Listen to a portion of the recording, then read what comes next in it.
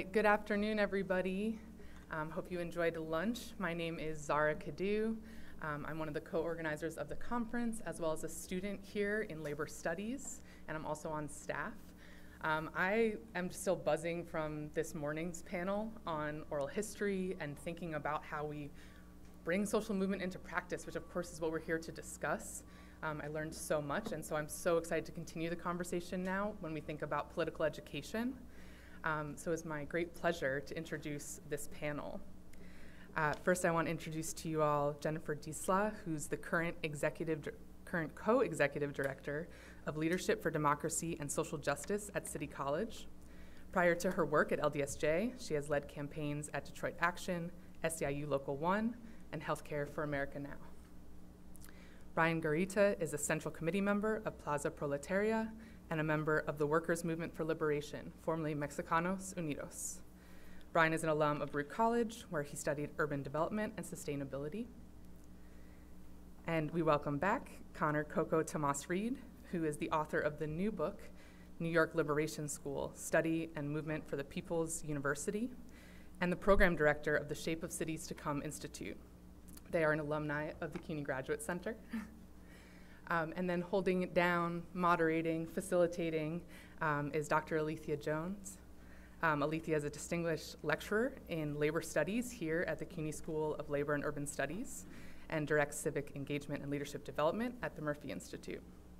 She was uh, the leadership development director at 1199 SEIU United Healthcare Workers East, and this included the Bread and Roses partnership with Harry Belafonte. She co edited Ain't Gonna Let Nobody Turn Me Around 40 Years of Movement Building with Barbara Smith from SUNY Press. Over to you, Alethia, and welcome. Thank you, Zara. All right, welcome, welcome everyone. So we're excited to have a conversation with all of you, with each other, and I thought it would be helpful to open with a, a light definition of political education, uh, and then I'll turn it over to uh, our distinguished panelists who will have opening statements for five or seven minutes or so, and then we'll enter into uh, a dialogue. So, political education can mean many things to many people. For us, it is definitely not Civics 101. It is not a political science class. Uh, it is often uh, education outside of formal institutions it is education, ideally within movement spaces, however that's defined, and it's for consciousness raising, for justice, and for liberation. Some people call it popular education, some folks call it movement education. It can be in unions, in book clubs, in consciousness raising groups, in theater, and in song. Fundamentally, it's about assessing power dynamics in society and accessing power, the power of the people. And that usually entails redefining power dynamics in the learning space itself, right? And inverting, equalizing um, those, those relationships so that everyone are co-learners together, not the teacher pouring into uh, a quote unquote student. So, in the spirit of political history, uh, I am wearing a particular hat today, and there's only the prize of satisfaction if at some point in today's dialogue you are able, without looking it up on the internet, to figure out what 306 is referring to. So that's our little um, challenge for today. All right, so with that said, we are going to start with you, Jen. Um, please. Thank you. Um, I just want to thank Zara and the other organizers of this great conference and this great conversation, and Alethia to help moderate, and Coco and Brian. Looking forward to this conversation as well. And you know, when I think about my movement lineage, I think about being in fifth grade and learning about Frances Perkins, who was uh, the first woman to be in a presidential cabinet as Secretary of Labor. And I think about in that moment and in that history class on how, you know, I was taught about what was happening with the New Deal at, during that time, the presidential um, objections and other things. But I wasn't really taught in regards to what was happening with UAW, for example, their first strike. And that came later on uh, through my trajectory in work and labor union. And I really think about who's helping me think through um, and sharpening my organizing and my political education is really organizations like Detroit Action, Missouri Jobs with Justice, and Organizing for a Black Struggle. And in these organizations, the most impacted are the, the ones that are centered, their voices are centered, and worker voices are amplifi- amplified. Um, but most importantly, everyday experiences are connected to the systems of oppression.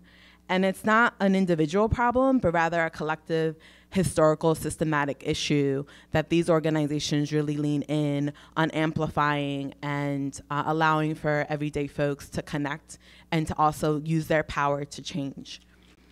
I also feel that regarding um, movement history and political ed, when I think about my experience, I think about the time that I was in St. Louis, which is predominantly black city.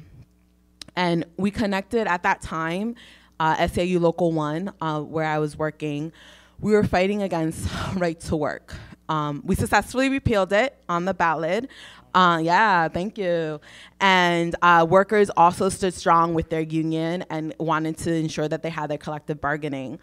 But in order to get there, it was really about talking about the racist history of right to work. Um, and you know, leaders such as Vance Muse in the 1930s being the person that was really um, orchestrating this right to work. I have a quote. Um, you know, from he was quoted to say, "From now on, white women and white men will be forced into organizations with Black African apes, whom they will have to call brother and or lose their jobs." These were the sentiments that were brought forth with right to work. And when having conversations with members and connecting the or the racist history and the origin of right to work, of right to work, I would connect it to the present, to where who who in the one the one percent that's holding the wealth in this country, how do they look like? And if you look at if you look at the demographics, they're predominantly white men, and so questions it became so to your point earlier about co-learning it became about me providing the context and the historical history about what was happening with right to work and how it was brought forth and where we were in present day and then asking questions such as you know was that by chance or design that the top 1% are white men? Um, how does that impact your day to day and what does it mean if you lose your collective bargaining power? How would you have the capacity to change your wages and other working conditions at the workplace? And I really was really able to think through as I was reflecting for my time today on how movement history is, for me, is to look at the origins of the oppression, of the systems of oppression, and connect to present day. And also, it is also what laid the strategic muscle to allow us to have the capacity to fight for our collective bargaining for the contracts coming, coming up ahead. So not only were we, were we using political education about right to work for the moment of us facing the battle of right to work, but it also provided the strategic muscle for our members to understand why the long haul of their contract fights were important. So excited for this conversation.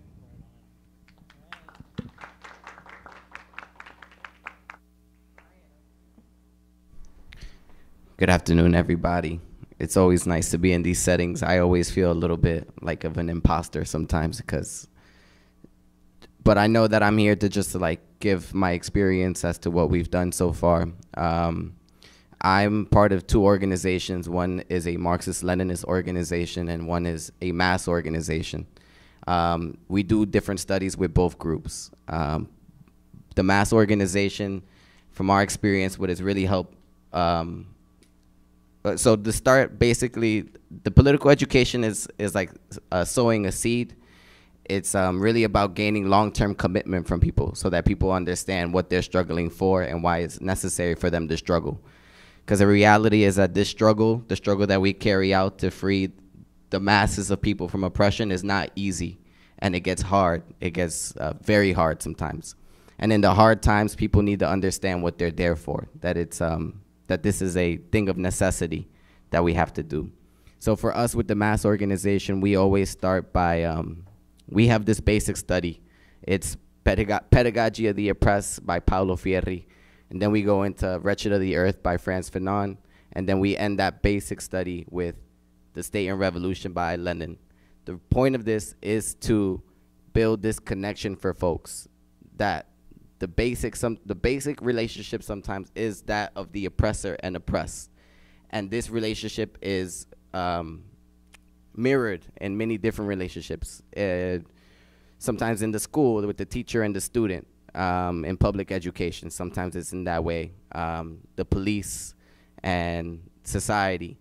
Um, sometimes even, and it gets a little like this is. It, sometimes it gets uncomfortable for people because it gets into their real lives. Like we have this conversation about sometimes it's it's the husband and wife relationship can be oppressive. Um, but we just make these things clear for people because people have to understand what oppression is and what it looks like. And sometimes it's violent and sometimes it's overt, but you have to be able to understand that.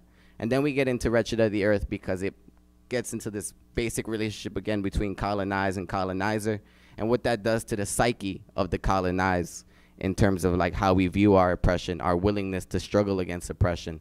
Um, and then we end with the state and revolution because it gets into the proletariat and bourgeoisie contradiction, um, which is what we find in this in this society is that a lot of workers are exploited. In the other organization, we do a Marxist-Leninist political theorem. Basically, it's all basic documents from Marxist-Leninist literature. Um, again, though, this is also related to the our understanding of movement history, like the Black Panthers and the Young Lords. Uh, the Black Panthers were a communist organization, and because we championed them so much, we understood that we should study the way they studied and study what they studied, but also apply it to our current conditions that we find here today. Now, when we started, we started our organization is brand new. It's called Workers Movement for Liberation, but it formerly was known as Mexicanos Unidos. We started after the George Floyd protests because we saw it as a necessity. Now we see here that and there are a lot of diaspora organizations in New York City and throughout the country because obviously obviously there are a lot of oppressed communities in the United States and in New York City. But we started out as a diaspora organization. We wanted to only organize Mexicans. That was our primary thing, mainly because uh, the majority of us were Mexican, so that's how we saw things. But through the course of our studies, we understood that the nationalist organizing only goes so far and at a certain point it does become reactionary in the sense that like now you're just basically trying to get privileges for your own national diaspora um, so we understood the necessity of doing a multinational organization that encompasses all oppressed people um, because here in our society sometimes we have very separatist mindsets when it comes to the struggle intellectuals with intellectuals feminists with feminists colored people with colored people. Um, and we don't see it that way. We see the need to have a multinational organization that encompasses multi multiple different oppressed identities. We see this, though, we come to this conclusion through our political education, and not because somebody told us to do that. It's because we came to that understanding by ourselves through our education. This is necessary for, uh, in order to get like a sustainable movement, really. Um, that's how we see that. Um, uh, the main thing too about our political education is understanding the development of things. Um, we see here, and because and so we see the relationship between the base and the superstructure. That the base is capitalism. Therefore, the superstructure is going to mirror that base, and that's why you get a lot of exploitative laws being made. Culture is also uh, the mainstream culture. It, it pushes this uh, capitalist agenda, basically it's just important for people to understand that we can win basically and that these things can be changed but people need to come to that understanding by themselves so that they can commit long term to the movement without that long term commitment things are likely to rely on spontaneity and we saw the george floyd movement as something that was spontaneous and that in the end a lot of people were left disillusioned because the main goal of that movement was to defund the police. And what we see after that is that the police get more funding. So we have to, again, go back to the drawing board, to the study, and see where we went wrong and why it happens this way so that we can get better at what we do. So political education, again, is just truly important so people can understand and stay in the, in the struggle long term and see the necessity of organizing. Without seeing the necessity, people won't organize. That's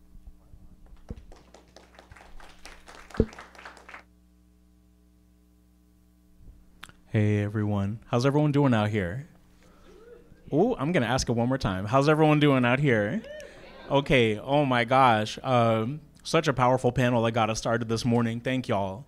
And although we are on a stage, we are really wanting to speak on the level with all of you. So hope that you're thinking about what you want to contribute with questions, comments in, in, in our dialogue today. Um, initially want to share gratitude to Alethia, to Jen, to Leo for this exchange up top, uh, to Maddie, Sarah, Zara, the interpreters, uh, the panelists for today, and all the folk at Fordham and, and SLU who had put together this event. Also gratitude to y'all for choosing to come here together.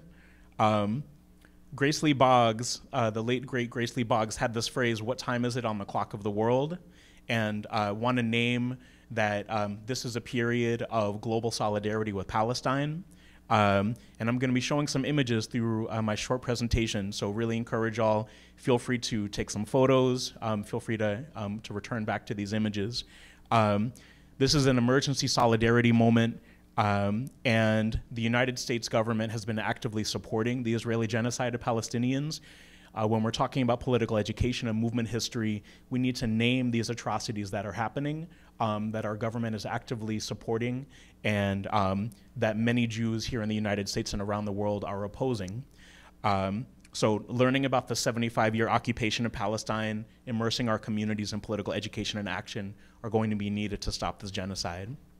So, for my contribution, I want to lay out just a couple of vibrant entry points, although not blueprints, for thinking about social movement histories and political education.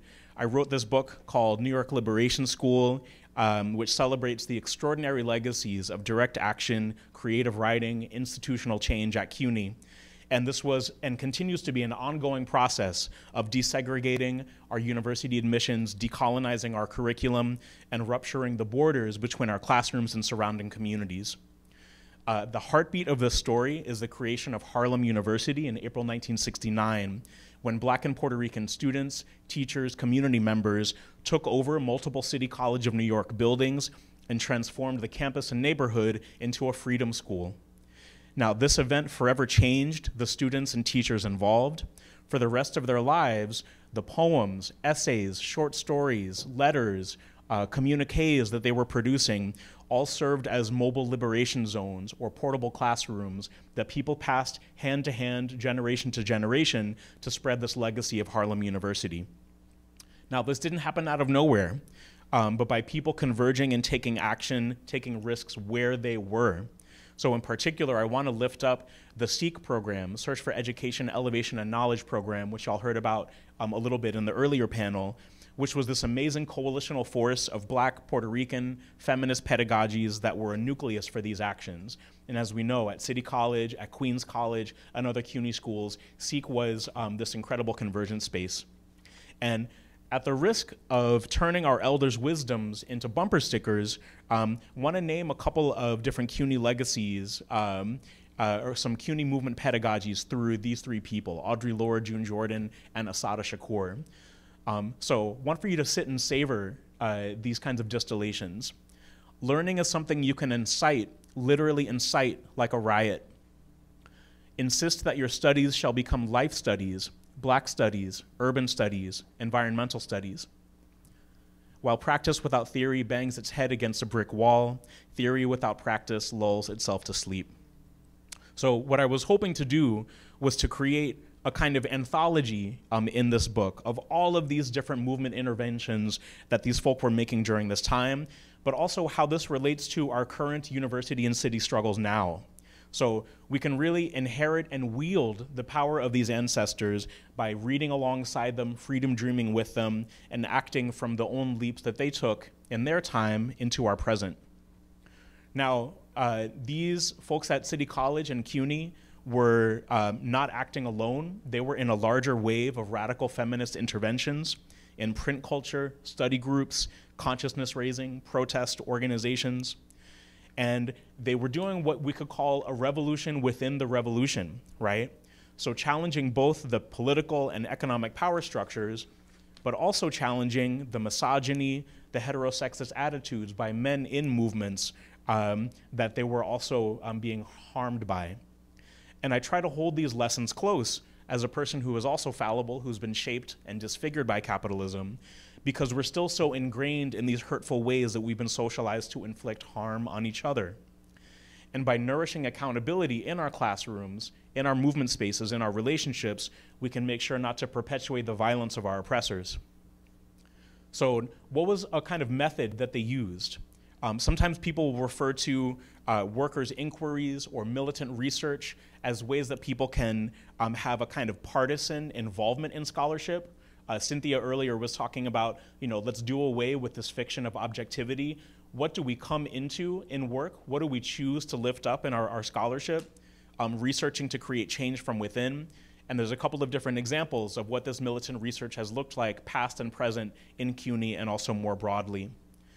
But this is also in CUNY and New York a hemispheric conversation, a global conversation. So, any times that there are education struggles that are happening here, we're also reaching our arms with folks um, doing this work in different parts of the world. And I want to lift up, um, uh, or just before I get to that, a few examples of ways that we've used movement research and creating curriculum to then produce uh, teaching and learning lessons of uh, CUNY movements. This is one in 2020 to speak about uh, police and prison abolition that a campaign called Free CUNY had crunched the numbers to see what would happen if we were to actually take all of the CUNY police budgets and reinvest that into different parts of our university. So to think very tangibly about how to not just have an analysis, but how to circulate it in a, in a really accessible way. Um, so, but broadening it out um, before closing soon, thinking about how this relates to struggles that are happening in the hemisphere, right, in the Caribbean and in Latin America. We have all of these incredible examples that we can reach towards in thinking about our struggles here in CUNY, thinking of in Puerto Rico, the University of Puerto Rico's strikes, their creation of mutual aid centers after Hurricane Maria, thinking in Brazil and Bolivia, that movements have basically come into formal uh, teaching and learning institutions in order to change them, to create a kind of dual power from below. Um, Want to lift up in Chiapas uh, the Zapatistas' vision for indigenous autonomy through study, that they're operating on a kind of 500 year timeline of insurgency. Um, also, thinking of in Chile and Argentina, uh, challenging patriarchy through feminist strikes, through different kinds of performance art, um, that there's a real vibrancy to feminist struggles in the Americas and the Caribbean that we can learn from today. And uh, just last, want to lift up that we're in an incredible moment of political education right now in CUNY. CUNY for Palestine has been doing all of these teach-ins, workshops, protests, research clusters, civil disobedience. All of this is intensive study that's geared towards urgent repair now.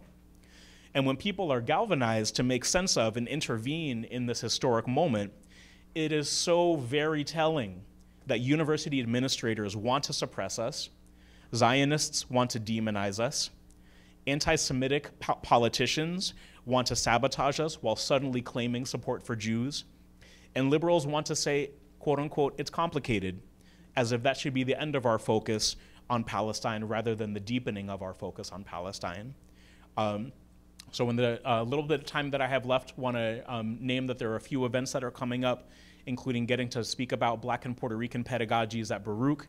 And um, this upcoming Tuesday, there being a research cluster on divestment um, to, to continue the, um, the movement in support with, Palestine. But um, really honored to be a part of this discussion and um, excited for what we can build together.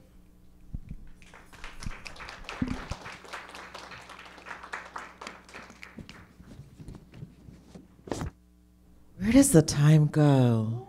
Oh my goodness. So we have around 10 minutes or so for our conversation here and then opening out to the to the audience. And I have two really big, juicy questions, but I also want to invite a few questions for each other. I don't know how we'll do it all, but we'll, we'll try.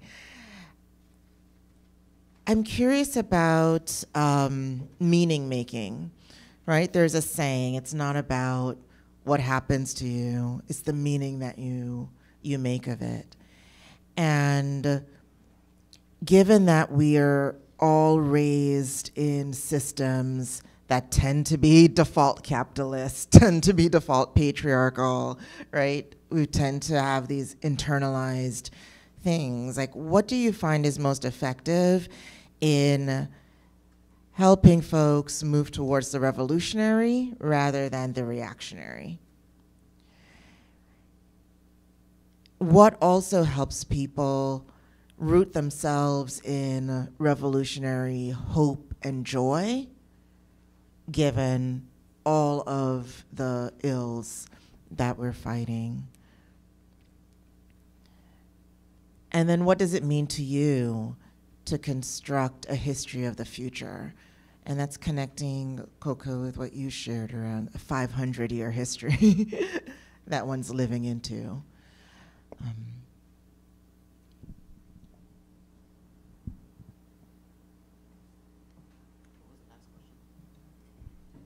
what does it mean to sort of make a history of the future? And how like, do do these learning spaces cultivate folks understanding like the long arc that they are pivotal actors within? Maybe those questions are actually for all of us, as as well as we have a, a dialogue.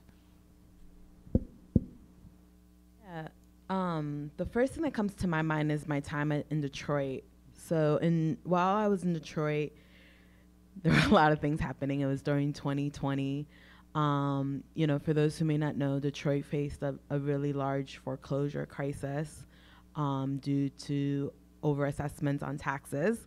Um, and so, when I think about meaning making, when we were thinking about the uprising of George Floyd and also the mur- murder of Breonna Taylor during that time, we were really thinking about also like in connection to the housing crisis on how the system was built towards protection of capital and of um, you know, and, and the core of it of white supremacy, right? And so when we were talking, doing political education with our members, really having the ability to tease out how white supremacy and white supremacist practices were happening in a, in a predominantly black city of Detroit.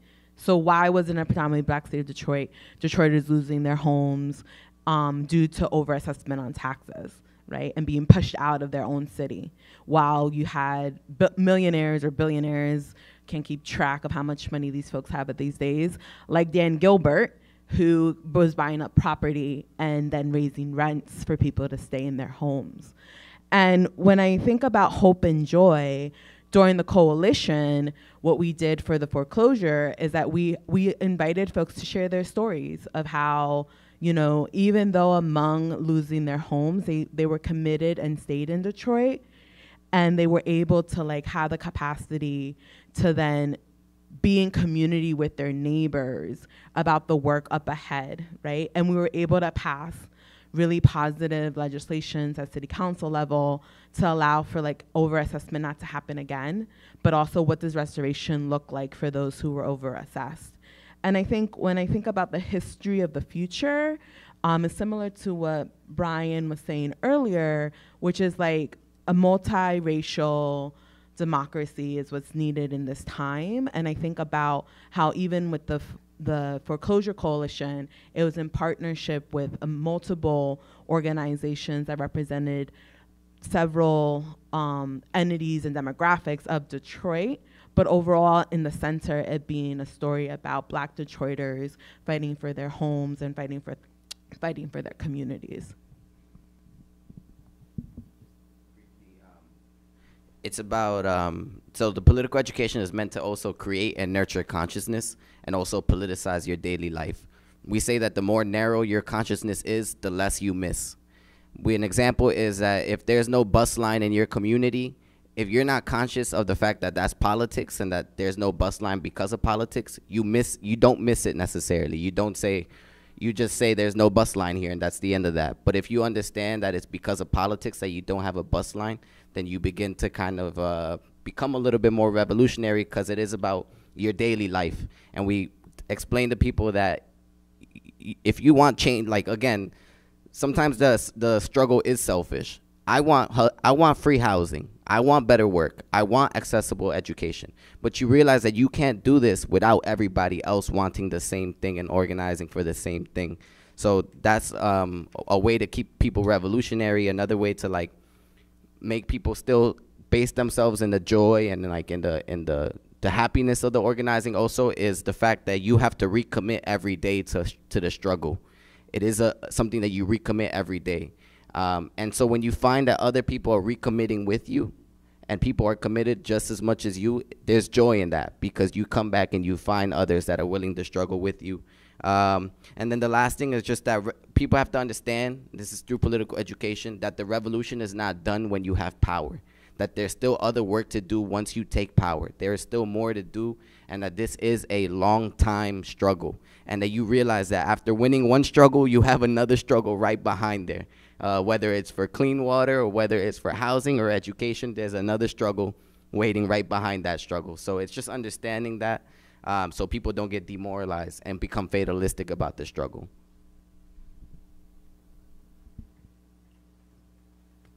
Um, I'll add in a little bit more and also really keen to hear from, from y'all in the room, so I'll try to keep it quick. So I want to talk a little bit about the past and about the future, and maybe we can meet in the present.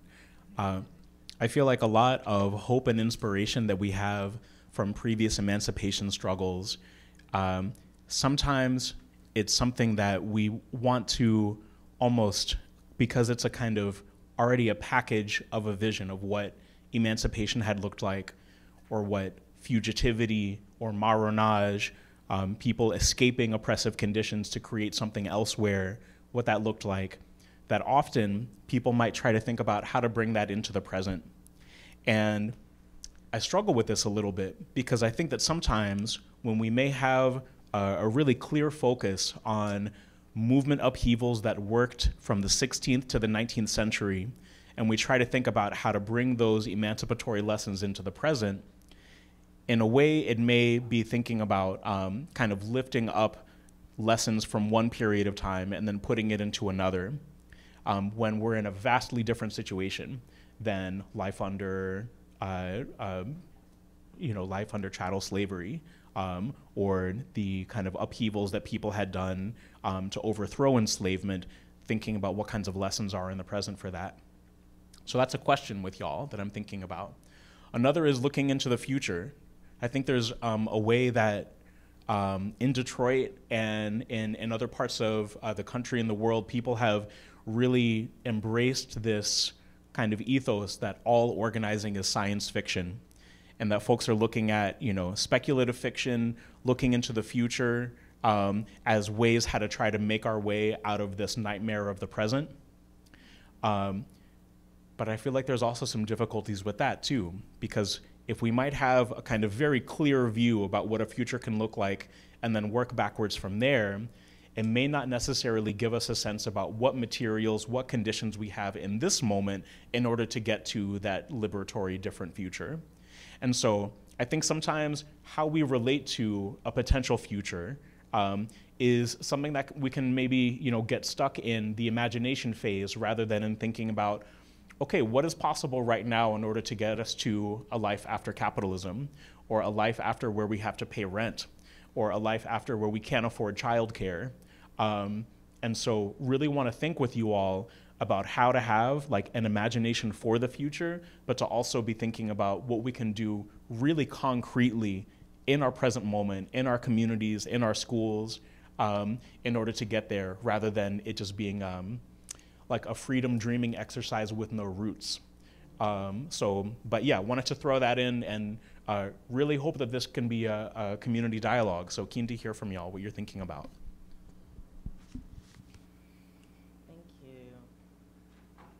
The the the genies and witches of time are on our side today, so we have an extra 10 or 15 minutes for this session. And I, I wonder, before we open it up to the audience, if there are any questions you have for each other, given the nuggets that were shared.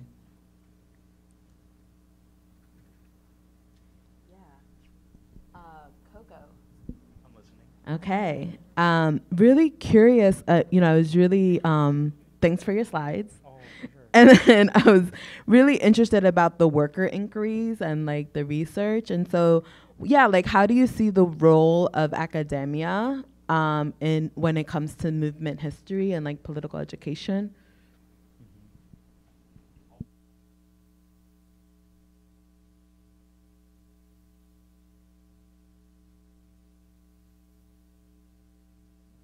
Just super quickly, I think um, kind of building upon what uh, folks had shared in the previous panel, when people who are deeply invested in something, really excited about a movement history, but then come in already with expectations, come in with that framing that's already cooked, then it's almost like we want to hear of your movement legacies, but also we our questions have already been answered in how we're framing it, right? And something that's really powerful about workers' inquiries or militant research, or there's other ways that people have, have named it, is that it's coming in with a kind of uh, openness to be changed by what you're studying and, and being involved in.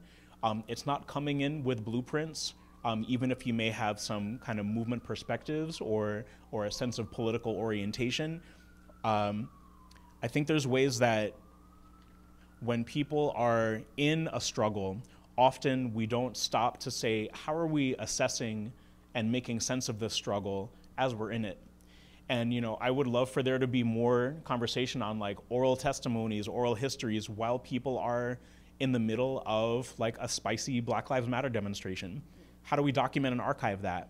Um, for people to talk about what it means for not just what happens in like classroom exchanges, but when people are then taking the subway ride home from class to then like that's when some of the real conversations come into motion. Like, is that being archived, right? Um, and so, you know, I think just like a commitment to curiosity and not having a predetermined sense of what those answers are um, can mean that it's a lot more fruitful when we're. That's right. Revolution will not be televised. Um, and to add to that, you know, we saw Assata Shakur earlier. She has this phrase, um, you will not be, you know, the ruling power won't give you the education you need to overthrow them, right? So thinking about what kinds of different educational and learning spaces we can make. Um, I had a question for you. I'm curious if um, you'd be willing to share um, from St. Louis to Detroit if there are some really specific kind of movement um, perspectives from these past 60s and 70s struggles in those two areas that people were passing along to to your generation um, and yeah just thinking about um, sharing lessons from from one period of struggles to the next Yeah.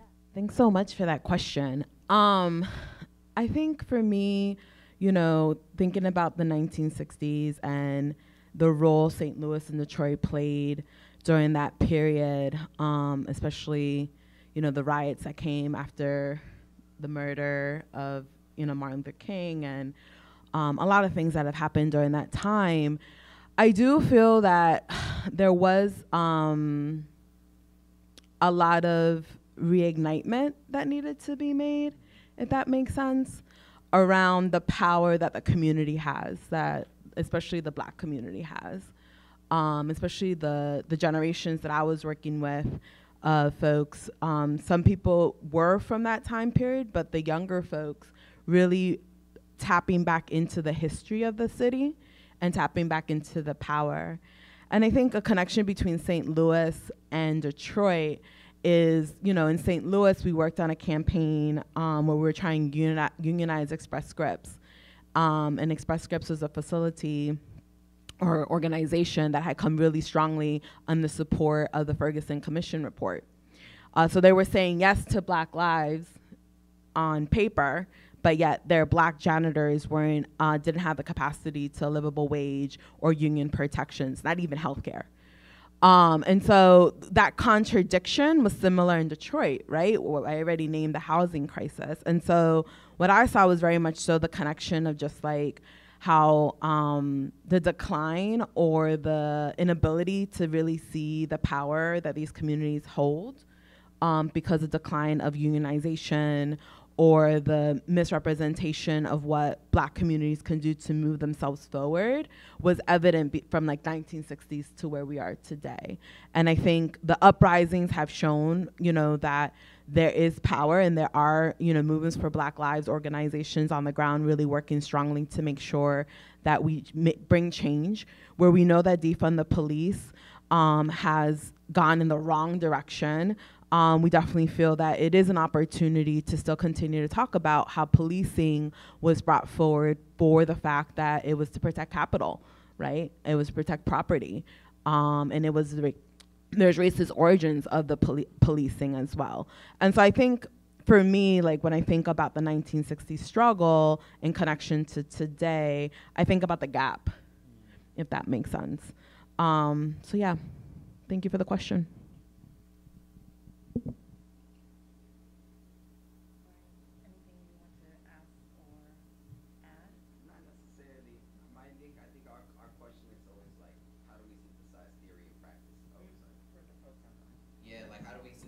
Theory and practice and also centralize efforts but also decentralize efforts. It's like the contradiction of like how do we centralize but also decentralize?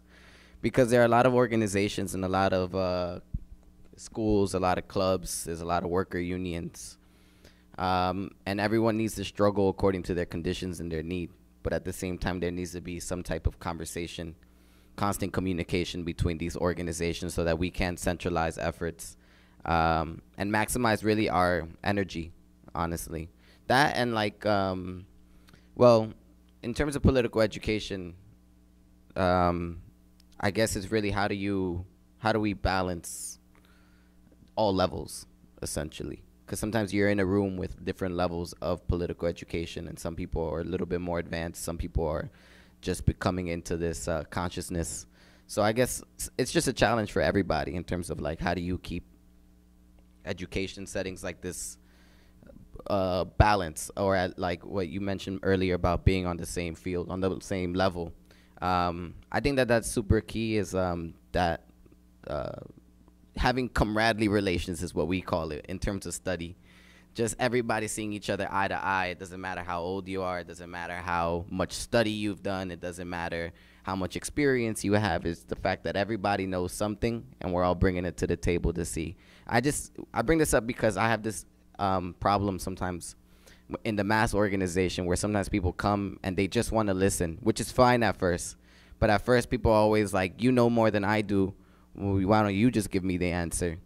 And so it's really about like how do we kind of like gradually bring this out of the people. Um, we deal with a lot of uh, the immigrant working class. Um, in Mexico, the education system is not that great. If you live in a rural area, especially if you're a woman. Um, you have um, your education only goes so far. Some of them only go to like third grade, fourth grade. Um, so their literacy is um, not up there. So again, it's about making this education accessible, still having text, still having visuals, still having conversation. It's just a synthesis of like education. So my, I guess the real thing is like, how, what's your education method, basically? Like, um, just because we do studies, but we also do film screenings and we also have actions. We also believe that rallying and actions and political activity is educational. Uh, asambleas, yeah. So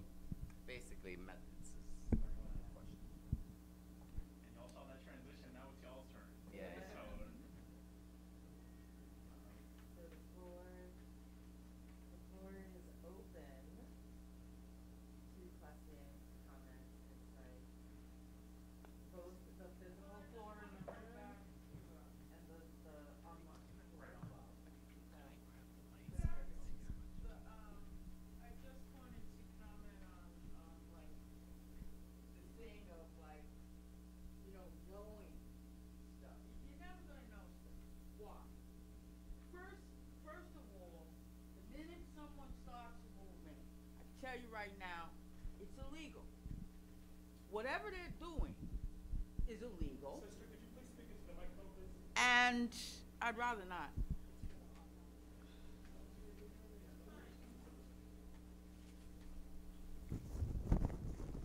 Whatever they're doing. I mean, as a little girl, I used to watch Dr. King, and I always got because he, he ran pretty much the 1199 union and my mother was a nurse you know and the men didn't like him because the women was making a fuss over him all the time and they were like you know but i always got the sense they were discussing something that no one ever was going to know about and if someone found out about it would ruin everything you understand but what he was doing in the eyes of the world was illegal he was black and walking. That was illegal. All right?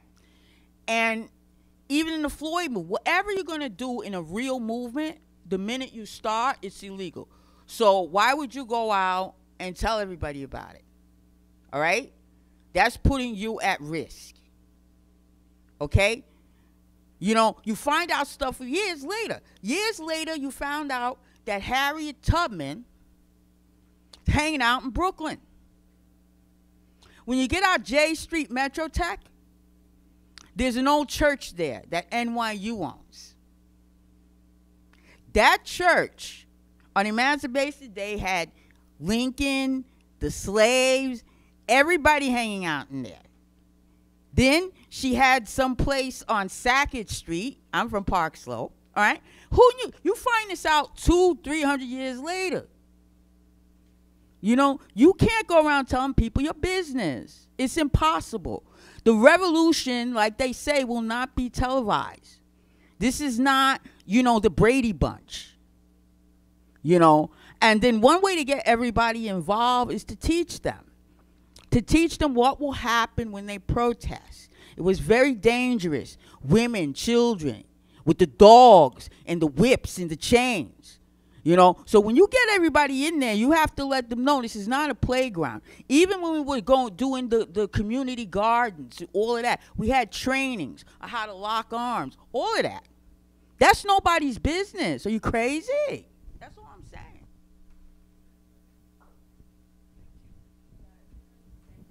Thank you for that. Um, when I taught at SUNY Albany as a part of the underground uh, railroad history project.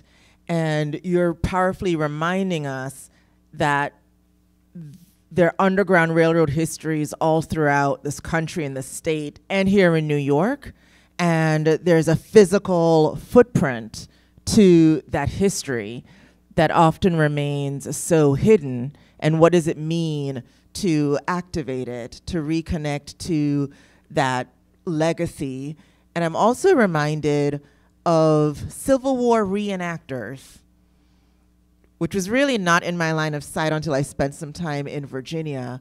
And I wonder about what it, would it mean for us on the progressive radical side to create reenactments of our own liberatory histories as ways of bringing them bringing them to life in a different way.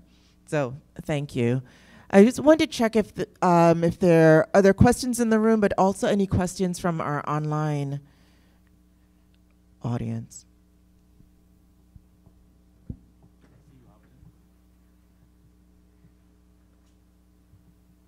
Um, to to piggyback on the Civil War reenactments, there is an artist named Dred Scott, Yeah. um, who has done that work in regards to like reenacting like slave rebellions in that practice. So like, just want to shout that person out for folks to be aware of of that person because I think that's really important to think about.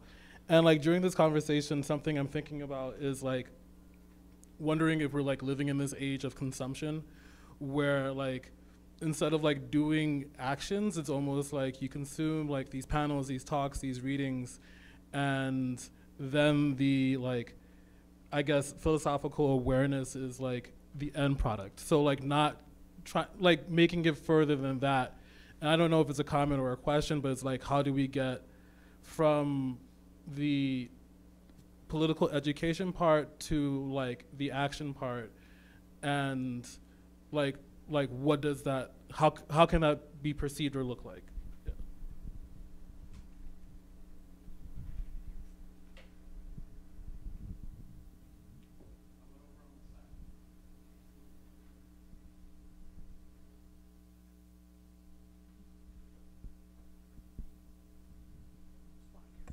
So I want to call out Kara Lynch, who's here, who is an artist who's also done amazing work about remembering the past. We've also worked together on a project in the 1990s called Repo History, where we literally put metal street signs up here around the city talking about lost or forgotten stories until Giuliani tried to shut us down many years later, but we kept going for a while. So there's a lot of artists beside Dred, whose project uh, Slave Rebellion is amazing. Uh, but there's a lot of artists who've been doing this kind of work, and a lot of people who are sort of like, you know, they're artists, but they're also sort of urban activists, and it's a whole complex sort of. Uh, do you want to say something? Okay. Anyway, just to say. I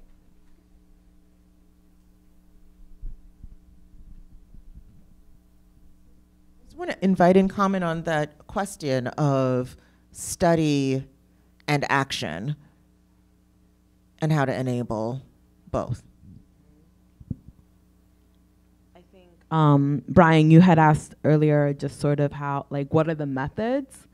You know, when I did political education with um, union members, I would use it as a, what we would do is like the house agenda during one on ones, which is basically like an agitational conversation that you have with someone about, you know, what we would say dusting off and reminding them their power, right? Um, and so I would just utilize that framework to really think about political ed. So I would I would have the historical information, of course, um, and also connections to the present. But then it was like agitational questions about you know what is what does this mean for us and what does this mean for our day to day and what are we going to do about it. So to your question, you know when we were fighting right to work and having political education about the right to origins of right to work, you know it was about connecting well, it means it means signing up with your union, right, to make sure that your union's strong, um, so you can have collective bargaining. So where we did those type of programs, we had over 80% of the memberships re- recommit to the community, uh, recommit to the union. Talking again about that long-term commitment, and then it was also about how are we going to be stronger in the contract fight. Now we know this history. We know why right to work was created. It was created to keep black people um, oppressed and black people in a position that wouldn't have the capacity to earn good wages and have livable, livable ways of living. Um, and so for me, it was like taking that knowledge and then how do we how do we intensify our contract campaigns into rallies, into strikes, into all the measurements of things that would be a successful campaign to get the things that we wanted off the table. And then when we did Express Scripts, it was an easier translation because here we had a company that said they were for Black Lives, similar to like other situations in, across the country, and then yet they had their own black employees in their own building not having access to livable wages or not having access to health care.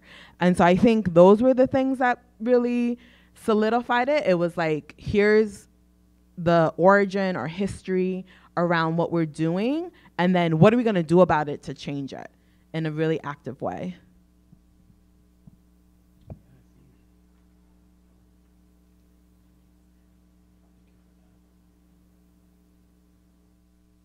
I'm glad you um, said something about the unions. Uh, in New York, we all, we have the Taylor Law. I'm sure you're aware of that. Um, it's been around. It's been around for a long time. If the union can't, unions been, if the unions can't do anything about the Taylor Law in New York, how are we going to do anything about political action anywhere else? This this would be the perfect litmus test of getting the law repealed altogether, or at least modified to make it at least uh, workable to uh, to more fair fair um, game. Okay. Oh, the Taylor, Taylor law in New York is where if the union goes on public sector unions, you know, emphasize that public sector unions cannot go on strike in New York without incurring severe penalties such as uh, every day you go on strike, that's two days' pay, I believe. I'm not sure the details anymore.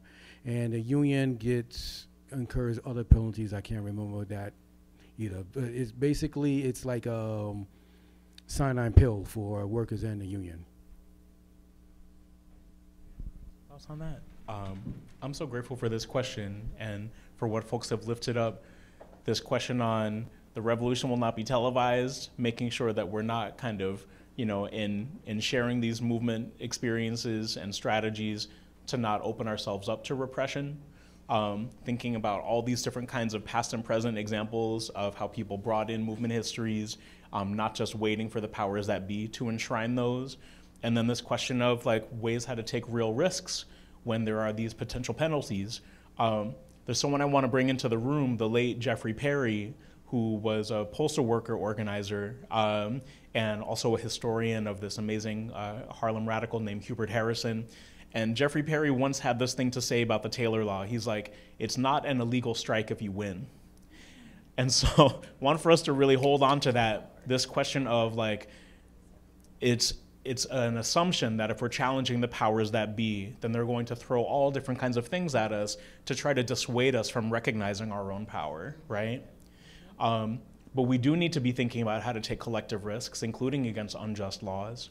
Um, we need to be thinking about if, for example, in CUNY, right, there's a campaign called CUNY on Strike that's trying to think about really consciously what we can do to uh, develop the capacity to take strike action that will not just be for CUNY students and campus workers. We would be involving our families. We'd be involving transit. We'd be involving all of the unions and those who are non-unionized but equally powerful, right? Um, and I think it brings us to, you know, this question of um, that we need to be preparing in a way for things getting a lot spicier before us coming to the promised land, so to speak. You know, there will have to be an above ground and underground orientation to movement work for us to lovingly talk with each other about what that will look like, how to support each other as we're taking risks. Um, I think that'll also be, you know, really a need for us to look at other kinds of lessons of how people took collective action. And I want to bring one in in closing. Some of y'all may be familiar with this documentary called The Take or The Toma in Argentina.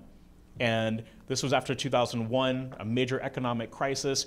All of the wealthy left they literally had suitcases of cash. They left in airplanes, leaving the working classes of Argentina to try to, you know, figure out what to do. Um, and there were these workers at factories that said, you know, our bosses, they keep telling us that we're not smart, that we don't know how to run these establishments, that we need them. Um, but when we found out that the boss left and we went into his office and then learned about how to run this factory ourselves, it's not that difficult. It's just addition and subtraction, right? So, you know, recognizing that we actually have this incredible reservoir of knowledge, of movement experience. You know, we don't necessarily need academics to tell us what to think about our struggles, um, but we do need for academics to become accomplices in these struggles. Um, so, you know, want to um, uh, cede the floor to see if y'all have anything more to add onto those pieces.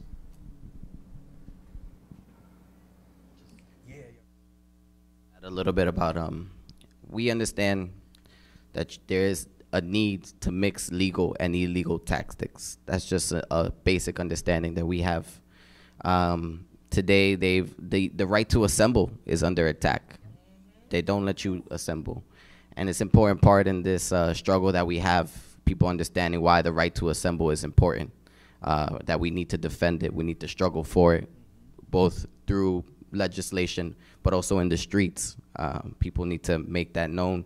Um, well, this also touches a little bit on what was like a thing for us, uh, this understanding of violence. Um, violence through political education was super important for people to understand that the oppressor's violence is not the same as the oppressed violence. Um, we say this because we also understand that not everybody is going to take that type of action. Not everybody wants to take that type of action. And we think that that's fine that's okay. But it's important for these folk not to condemn people who take that type of action because then you're playing into the oppressor's hand. It's okay if you don't want to take that action, but understand why some people feel the need to or see the necessity to, i.e., Palestine. Okay, that was important for us to have that conversation with the people in our plaza and the mass organization so that they can understand that this is a long, uh, this, this, this um, this conflict didn't start October 7th. It started a long time ago, and so it's important for people to understand. As I mentioned earlier, the development of conflict, the development of how these things arise, in order to have a real complete understanding of it. The other thing is that political education is meant to boil the water. We use this um, we use this term because it's it's about how things change from liquid to gas and gas to solid or in whatever way is that it does need to happen at a specific temperature at least for water. Water freezes at a specific temperature and it boils at a specific temperature. It might be hot but it might not be boiling. And you might be able to throw something in the water and it might get softer and you might be able to eat it but you might it might not do you any good because the water wasn't boiling if that makes any sense. Political education is meant to make the water hotter to the point where it boils and to the point where you can do something else now because the water is boiling. And until that water isn't boiling, you can't take certain type of action. We see that. People need to understand the collective risks that is involved in taking action. Because in me taking action, I also inadvertently put Connor in danger, basically, because now he's also at risk of being repressed it's just the, the nature of this collective struggle that we take is that everybody needs to be on the same page. The last thing about how political education can lead to, to, to action is that sometimes that is not a very um, direct link. Sometimes it's not cause and effect. Sometimes it's not because you do political education, you take action. Sometimes it's something in the middle. Now, for us, political education is important because of how transient this movement is and how transient people are. People tend to move relocate. So the point is, is if this four person study circle, we have to train each other. So if Jennifer moves to Detroit tomorrow, the Jennifer is an able organizer who's already conscious and, and, and is able to take action over there. So it's kind of like that, basically. It's like, uh, but sometimes it is cause and effect. In, in our practice, the way we try to do political education is we study and then an action that we ask members to do is write on that study or make it relevant to today. And then we can make a leaflet or an agitation paper and take it to the streets and give it to somebody who is not conscious and see how they react to this piece of paper um, and see how we can agitate them. Sometimes it, it goes from political education to rallies. But sometimes again the, the, the it's not deterministic in the way where it's like cause and effect. But yes political education is meant to plant a seed. And political education we had this conversation in the pre-talk that political education has to be sustained. It has to be consistent. You cannot do political education once and expect that person to really assimilate all those ideas. You do need to come back to it over and over again, understanding that everything is connected. The way we talk about our initial study with the Marxist Leninist group is we do consciousness of necessity, class struggle, the state, and then we talk about the need for a actual genuine workers party. That is the stage that we're at is understanding that there is no genuine worker party out there today. And because of that, the workers' interests are never on the ballot, genuinely, and they're never there for debate. It's really just the Democrats and the Republicans, again, always playing the working class. The Trump movement does play on the white working class um, in other parts of America. The union struggle is important um, because there are more unions in New York City than there are in the South. And so there are things like that that we need to take into consideration in respect to specific questions. The last thing is we talked a little bit in the pre-talk about how the future is either socialism or fascism. And we either, we need to get behind one or the other. And I hope everybody goes behind socialism because that is a proper path but we understand that trajectory and we also understand how it can easily develop out of the United States because we have a history of racism and racist structures that are fascist in nature. And so we see how that can come back. And we see it through the Supreme Court. If you do want to take away laws and rights, it is the Supreme Court. And we see that, well, the Supreme Court is the Supreme Court, and I, I it's fascist in nature by the people who are on it, basically, because uh, I think three were chosen by Trump, if I'm not mistaken. Um, and so again, it just puts us in danger constantly. Rights are constantly being overturned. The abortion right, the right to assemble is under attack. There are many other rights that do come under attack. Sometimes they do it through the state level. Now Trump is saying that all states have the right to decide for themselves, which is a stance that he changed on many times before. Point is, is this is socialism or fascism?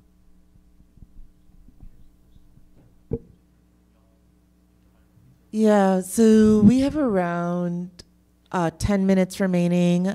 I want to check if there are any online questions to come in, um, just to be mindful of that stream. No? Okay. Uh, any final questions from the audience before we do closing statements, Azar?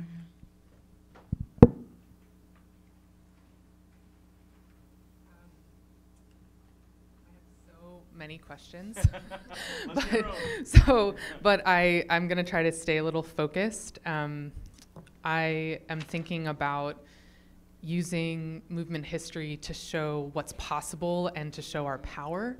And if you would also comment on the ways that people use history to describe what you can't do. And I was really happy you brought up the Taylor Law because what we're seeing in the CUNY on strike movement right now is a lot of folks bringing up the MTA strike in 05 as um, a reason why this should not move forward. Um, and so how, how do you counter when, when someone provides like a historical example for why they think you should not take action, how you counter that and how you approach that? And then the other question I have is about this framework around legality and legal rights. And I know as a tenant organizer, if anyone invites me to their building to talk about tenants' rights, I will always, always go. And also, I think we get caught in this um, framework of rights and coloring in just inside the lines. And I was curious to hear how you all have handled that in your work. Um, and then for Brian, if you would talk in the context of worker assemblies and how that kind of goes in the free flow, that'd be awesome.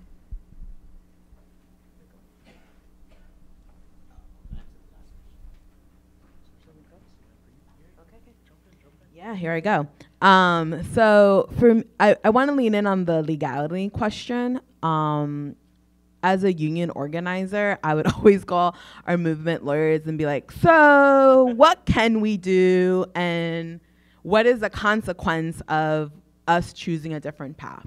Right, and so that really helped. You know, someone who has taken civil disobedience twice uh, for justice for janitors, it's it just really has helped me pa- paint the picture, both for our members and also for myself as an organizer, of what are the risks and like calculating those risks, but also not being stuck in the box of what's legal and what's not legal, but like being being strategic about what's the risk that I'm taking in order to change the lives for myself and for my community. And so that's how I approach the legality question.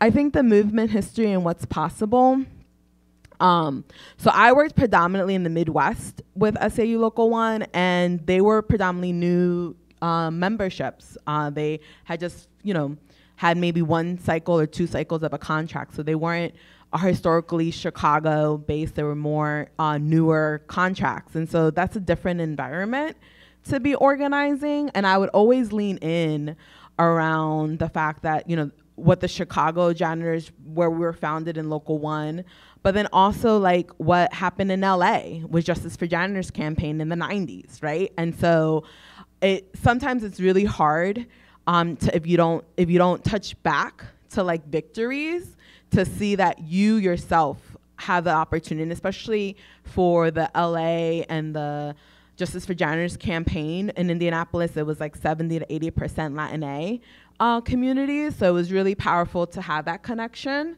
between those two groups and to be like, you know, these were the, this was their playbook. How do we learn from them and then also have the capacity to like m- make it our own, right? In our climate and our community. And that that was really effective and, you know, Indianapolis is still there, still thriving. There's members there and a right to work state. And so that's really exciting to like know that that that looking back helped to sort of move them forward.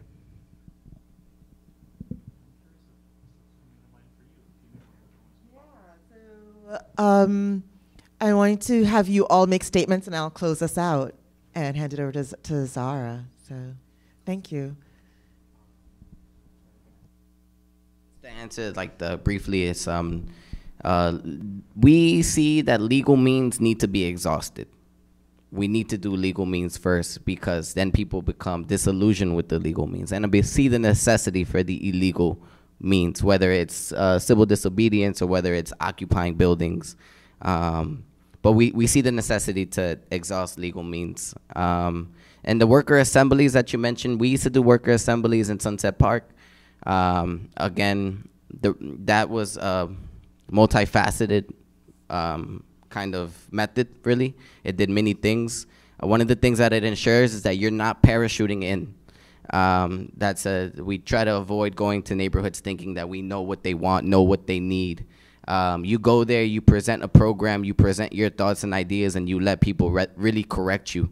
Um, tell you like, okay, that's good, but this is more important, and then you add that to your program and you move forward.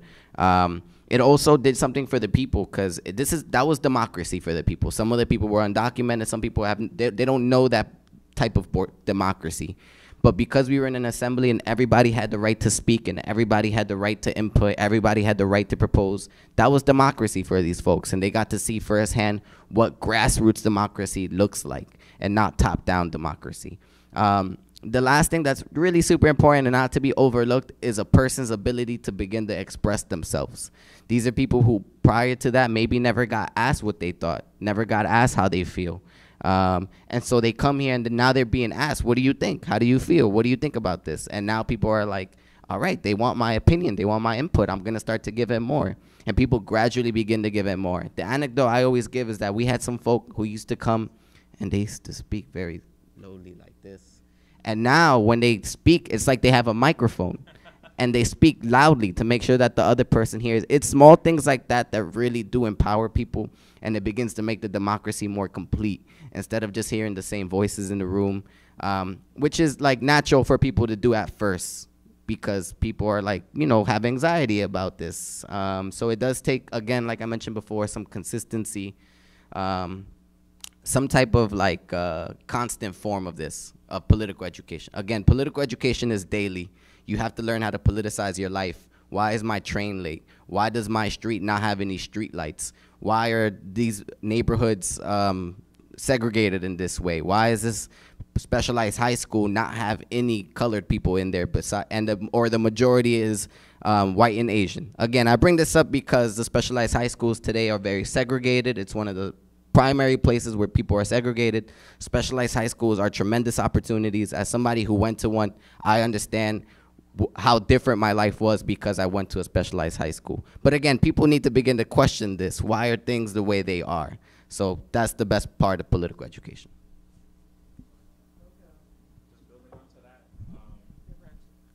Oh, word. Um, just really quickly, um, thinking about movement histories that are lifted up to negate or to undermine our power. Um, that's why we really need historians and cultural workers from below. Um, you know, or else they'll be having us believe that Lincoln freed the enslaved, or that the people of New York love Eric Adams, right? When we know that those two things are not true at all. Um, and, you know, specifically on this piece of rights, I feel like there's a way that sometimes social movements get stuck in demanding something, demanding rights from the state, um, from their employers, um, when ultimately, I mean, I'll speak in the I form, demanding rights from a state that I'm wanting to overthrow puts me in a little bit of a bind, right? Um, and at times, people who have um, uh, an indigenous kind of framework and an indigenous lineage talk about moving from rights to responsibilities. Not rights that we are given by the state or by our employers, but our responsibilities to each other. And to just kind of do a paradigm shift in that regard. And that it means that you know, on a larger sense, we're moving from a kind of representational politics where we vote other people to make political decisions on our behalf, and they usually screw that up, to instead us thinking about how to directly participate in collectively being in society, working people reproducing New York City on a daily basis, and really taking that seriously. What does it mean to be directly involved in the contour of our lives with each other? That's power. That's also study, right? And you know, this final piece that you had started with, how does our uh, experiences with schooling then impact our kind of relationships with each other? I'm hoping that you know, for those of y'all who are educators in the room, for those of y'all who are students in the room, but also those of y'all who may see that you're kind of a little bit outside of a formal learning setting like CUNY, please consider what the role of radical study looks like as you're changing yourself, as you're changing relationships with others around you. Um, this is very much so, you know, what happens in a kind of freedom classroom can then get activated in other aspects of our lives, including people learning the power of their voice, including people learning to have an analytical sharpness to make sense of this world, but also to, to be in motion. And um, really hope that this is, you know, the, uh, the start of ongoing conversation, including getting to hear how this looks in terms of art interventions with the next panel that we'll have. So a lot of gratitude to y'all.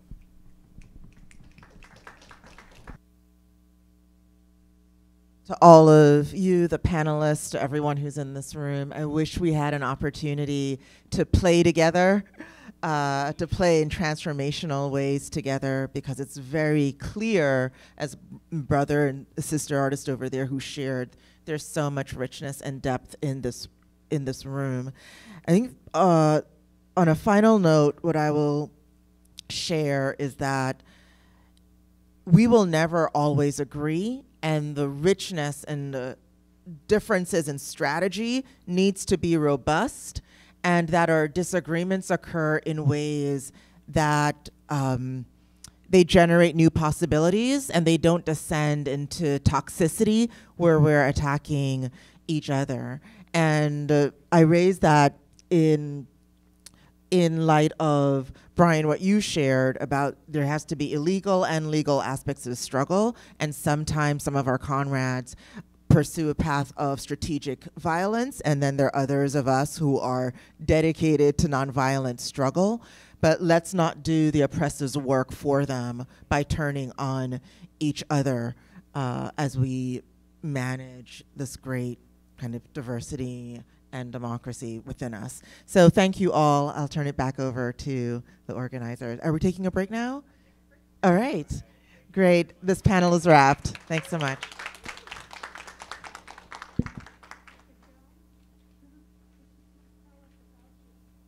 Oh my goodness. Did anyone guess?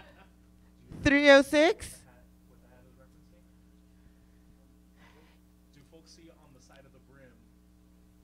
Uh, the Lorraine Motel. Is that a hint? The Lorraine Motel? April 4th, 1968. The assassination of Dr. Martin Luther King. He was in the Lorraine Motel, room 306, and he is standing on the balcony when he was assassinated.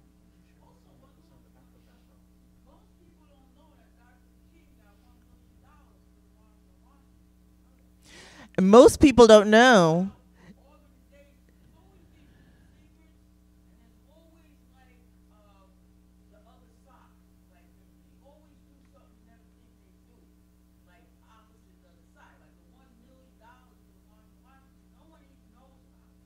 That's that's true. And I will also say there's a hiding in plain sight of like Rosa Parks radicalism and that Dr. King was at a strike it was a labor action supporting Memphis sanitation workers. And I'm always amazed whenever we taught this within the union how many people, people of color, were not aware that he was at a labor action. And that's what ended his, his life. So, unmasking these hidden histories are really important, I think, for our people. All right. Thank you for asking. Thank you.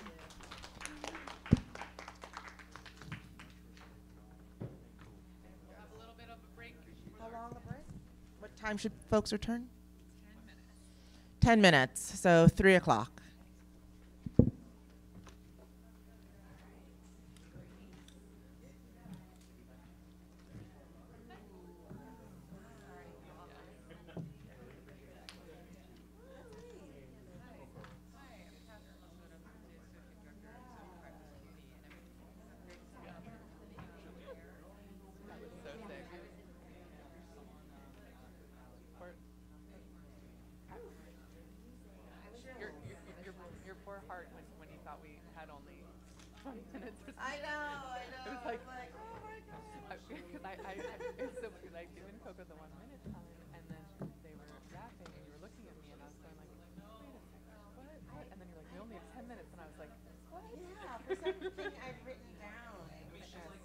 No, no, I'm so totally. glad. It was great. No, I, I, I'm so glad you had your phone so I could text you. Yeah. Thank you. wow, I just learned so much.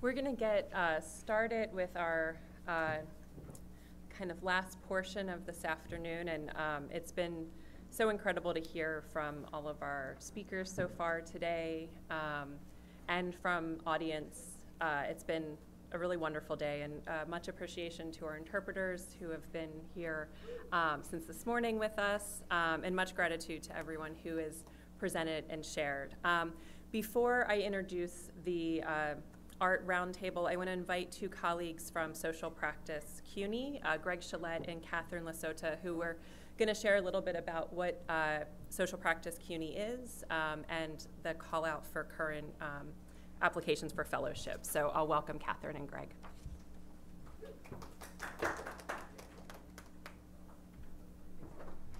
Hey, thank you, Sarah, so much. Uh, Zara as well. Um, yeah, it's great to be here. Real quick, because I know we, are running low on time. Social Practice CUNY's been a, technically around for just a few years, but we have a longer history. It goes back to Queens College, about 15 years now. We give uh, stipends to fellows that are both faculty people and also students at the master's level and above. And it's people who are already interested and working on uh, culture and, and social activism, culture and social justice, those are sort of the areas that we, we look for the intersection of. We don't actually teach those things per se, but we provide support for it financially, but also with a couple of classes, one that I teach and one my colleague Chloe Bass teaches, one spring, one fall. And uh, yeah, I encourage you to take a look. You can simply Google spcuny.org, I think, right? And you get right to uh, uh, social practice. Well, yeah. Yeah. It's out there. It's out there. So- Socialpracticecuny.org. And you can get in touch and you can ask questions. Yeah. And we're just, uh, uh, so we, every year we have, for the academic year, we offer fellowships to students and faculty, and we've just opened our call for applications for graduate student fellows, and just wanted to bring attention in case that's interesting to anybody. We have a- this flyer on the table outside. I also have them if you want to grab one from me um, about what we are, what our students do, and then um, we're also opening our call for faculty fellowships in May. Um, and there's information, there's a link to our website on here as well. Um, and it's, it's CUNY-wide. It's a really unique, special opportunity to bring folks from all of the different campuses together who have these common interests and support each other in our social practice projects. So thanks.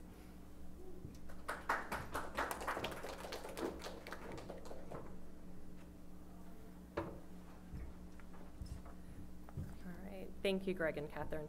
Um, as someone who comes from the arts um, and whose relationship to uh, social movement building and histories is really rooted in that work, um, as both a student and as a cultural worker, I am so excited to introduce our last uh, conversation of the day focused on um, art making and movement building. Um, there are printouts that have folks' bios, so I'm just going to very briefly introduce our moderator and speaker, uh, speakers and then turn things over to uh.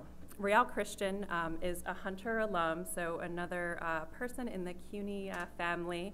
Um, she is a writer, editor, and art historian based in Queens, New York. Her work explores issues related to identity, diasporas, ecology, media, and materiality. Her essays, interviews, and criticism have appeared in Art in America, Art Forum, Bomb Magazine, The Brooklyn Rail, and Art Papers, where she's a contributing editor. Uh, she is the Assistant Director of Editorial Initiatives at the Vera List Center for Art and Politics, a nonprofit research center based in the New School. Mark Loughney served 10 years in a Pennsylvania prison where he drew over 800 portraits of men with whom he was imprisoned. He was released in July of 2022. The portrait project called Pyrrhic De- uh, Defeat, a visual study of mass incarceration, debuted at MoMA PS1 in the award winning exhibition, Marking Time Art in the Age of Mass Incarceration. His work has been featured in the New York Times, The Atlantic, The New Yorker, Forbes, Art Forum, The Paris Review, Hyperallergic, NPR, galleries, dive bars, and museums. Alicia Grullón uses performance and self portrait, recomposing popular histories as a critique on politics of the present, an argument for the inclusion of marginalized communities in political and social spheres. She has participated in exhibitions in, at the Eighth Floor, Bronx Museum of Arts, Brick House of Arts and Media, El Museo de Barrio, and Columbia University. She currently has a solo exhibition on view at the Mead Art Museum at Amherst College, and she's a born and raised New Yorker. Betty Yu is an award winning, socially engaged multimedia artist, photographer, filmmaker, and activist, born and raised in New York City to Chinese immigrant parents. Betty's art emerges from collective struggle, and she places it in the service of building collective power. As a cultural worker, she remains deeply connected to grassroots organizing and has over 25 years of community, media justice, and labor organizing experience. She is a co founder of Chinatown Art Brigade, a cultural collective using art to advance gentrification uh, organizing. Thank you very much.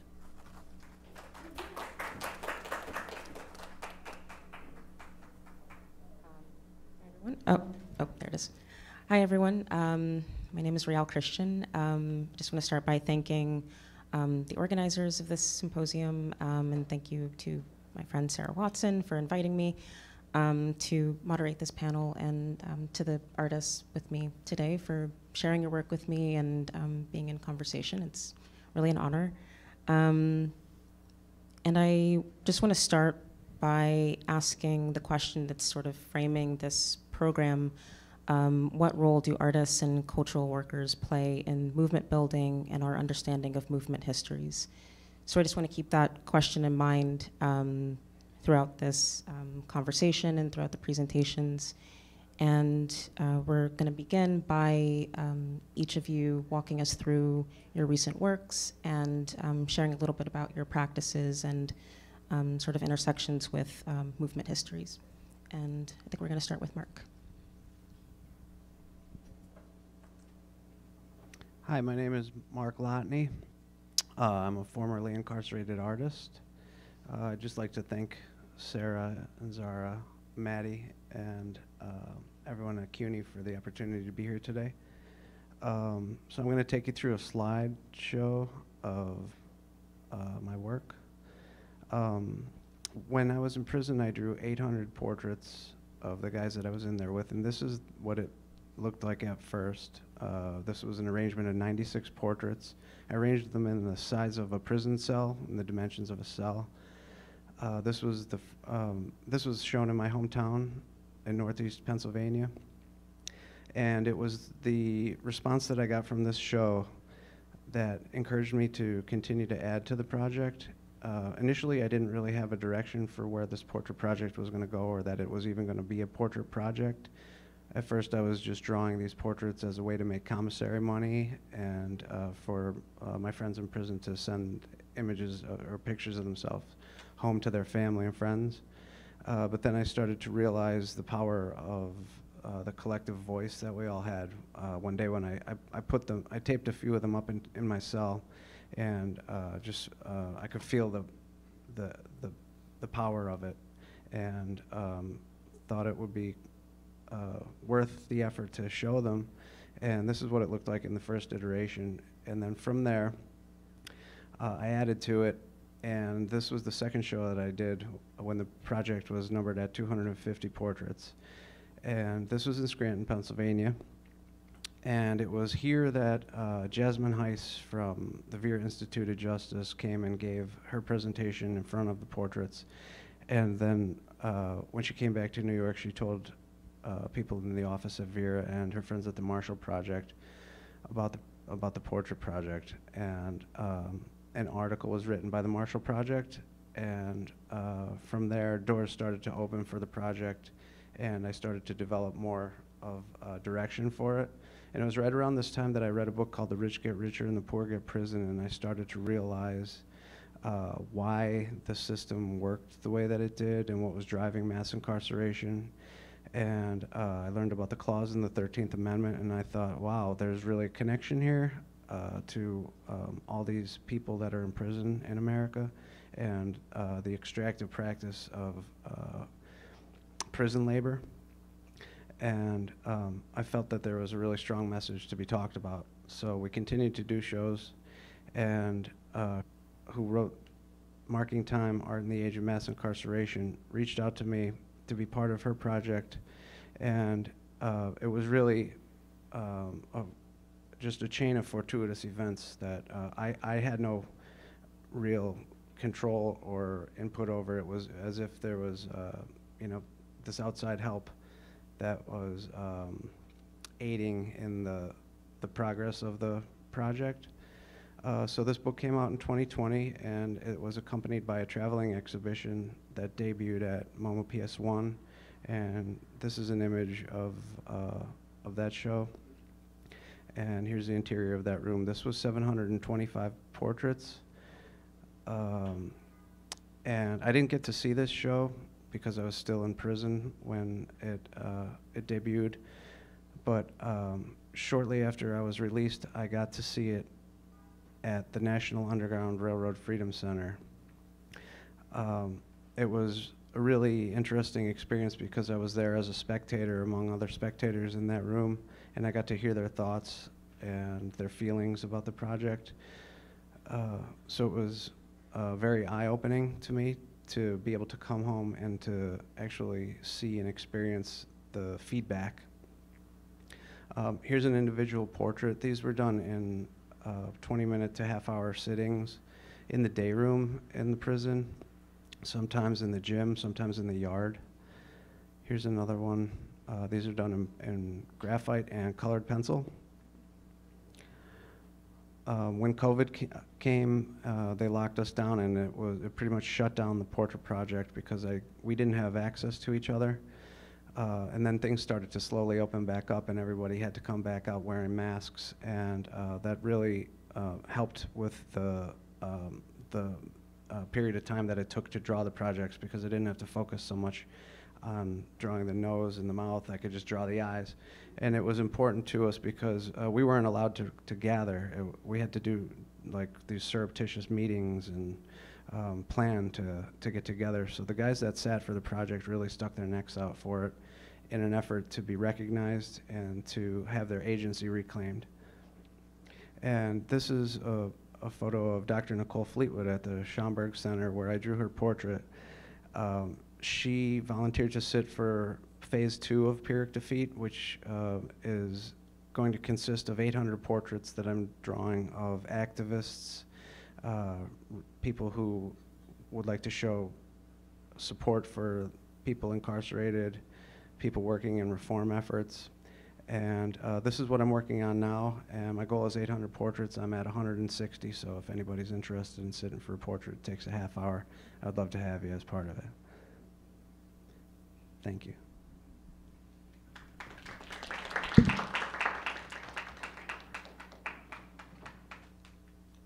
And I think, um, thank you, Mark. Um, I think next we're moving to Alicia, unless I'm misremembering the order. Yeah, okay. Okay, hello. Hi, hi. It's nice to see so many people I haven't seen in quite a while in the audience, so thank you. Um, my name's Alicia, and um, Sarah um, let you know that I'm a lifelong New Yorker. That was going to be part of my introduction. Um, and my practice is largely based on, on, uh, on the image. I'm driven by the fact of, um, or by the power of what is signified in an image. I'm also a trained actor. So I went to school for a BFA for my acting, and I, I left that for many different reasons, mostly the business itself. But these elements have come into my practice this performative element and then the lens based image making. And the, what ties them together for me is going back to this idea of what is signified within an image. When I use myself, I, they're all self portraits. I mostly use my own body because I'm largely aware of how I signify to whoever's in the room will vary, right? I'm a brown woman. How that falls on individuals will vary on what you know, what your experiences have been. So a lot of that uh, drives my work. And now I come to a point where I'm asking myself, well, what do I say to, to labor organizers and labor students about the work that I do? Um, particularly because art has this, this legacy and this history of, of being commodified and being objects of commodification. Um, objects of monetary exchange, objects that are seen in places that are not welcoming to all of us.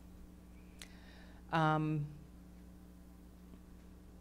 the image you see on the screen is my first reenactment. And reenactments have a tradition in art history. Maybe one of the most famous ones that might interest you is by Jeremy Deller, uh, The Battle of Orgreave, where there, the reenactment of the coal miners fighting police officers in London during Thatcherism was redone a, a, a few decades after. So there's a tradition of reenacting live, current historical events. This incident happened in 2007 where a Honduran man who was a migrant worker was found frozen to death near a, a Long Island railroad station. It was 2007, and the temperatures had dropped um, below 3 Celsius. I'm not even using Fahrenheit because it was that cold. Um, this was a really fla- a fast flash in the news, um, and it struck me for many reasons. I am a child of immigrants, um, so the understanding of needing to leave your home um, varies with each person who leaves their home, but um, the sacrifices and the work and, and that narrative have always stayed with me, right? Um, having to work, um, working to survive, sending money back to family, supporting, you know, cousins and everyone. Um, so that hit me more personally. And then I was shocked by the lack of, um, of, of any attention and the devaluation of this human being, who most likely is the same person who fixed your car, who brings your food, um, might do your lawn, um, might deliver your food. And for me, when from the next projects that you'll look at, where I am focusing on workers and labor, it has been a sense of renewing the humanity lost. I feel that many times when we're, we dis, the person who is doing the labor loses their humanity. They are only there for the sole function of providing whatever service it is that they're doing. And I've been meditating on that since 2007, since this incident. So it was reenacted near my home. I'm born and raised in the Bronx, Van Cortlandt Park, if you're familiar, Northwest Bronx, beautiful forest. Went into the forest um, and found a place that looked like it could work as shelter if I were to need shelter in the middle of the night, like this man. Um, unfortunately, today, if you Google, you know, Honduran man found frozen to death, you find my images, and that's not my intention. That was never my intention of the story. Um, you, if you're lucky, you may find the New York Times op-ed.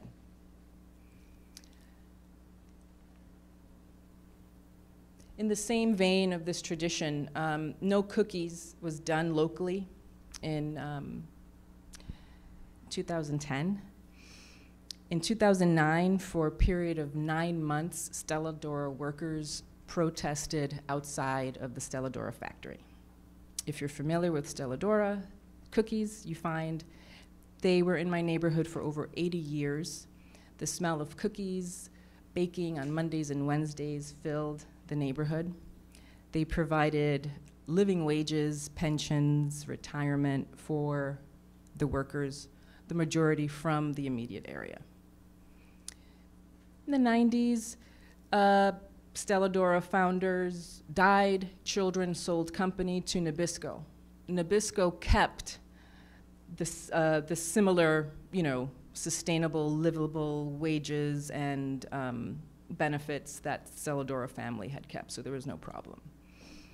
Come into the 2000s, Nabisco sells Stella D'Oro to a Wall Street conglomerate, and this occurred in 2008, late 2008.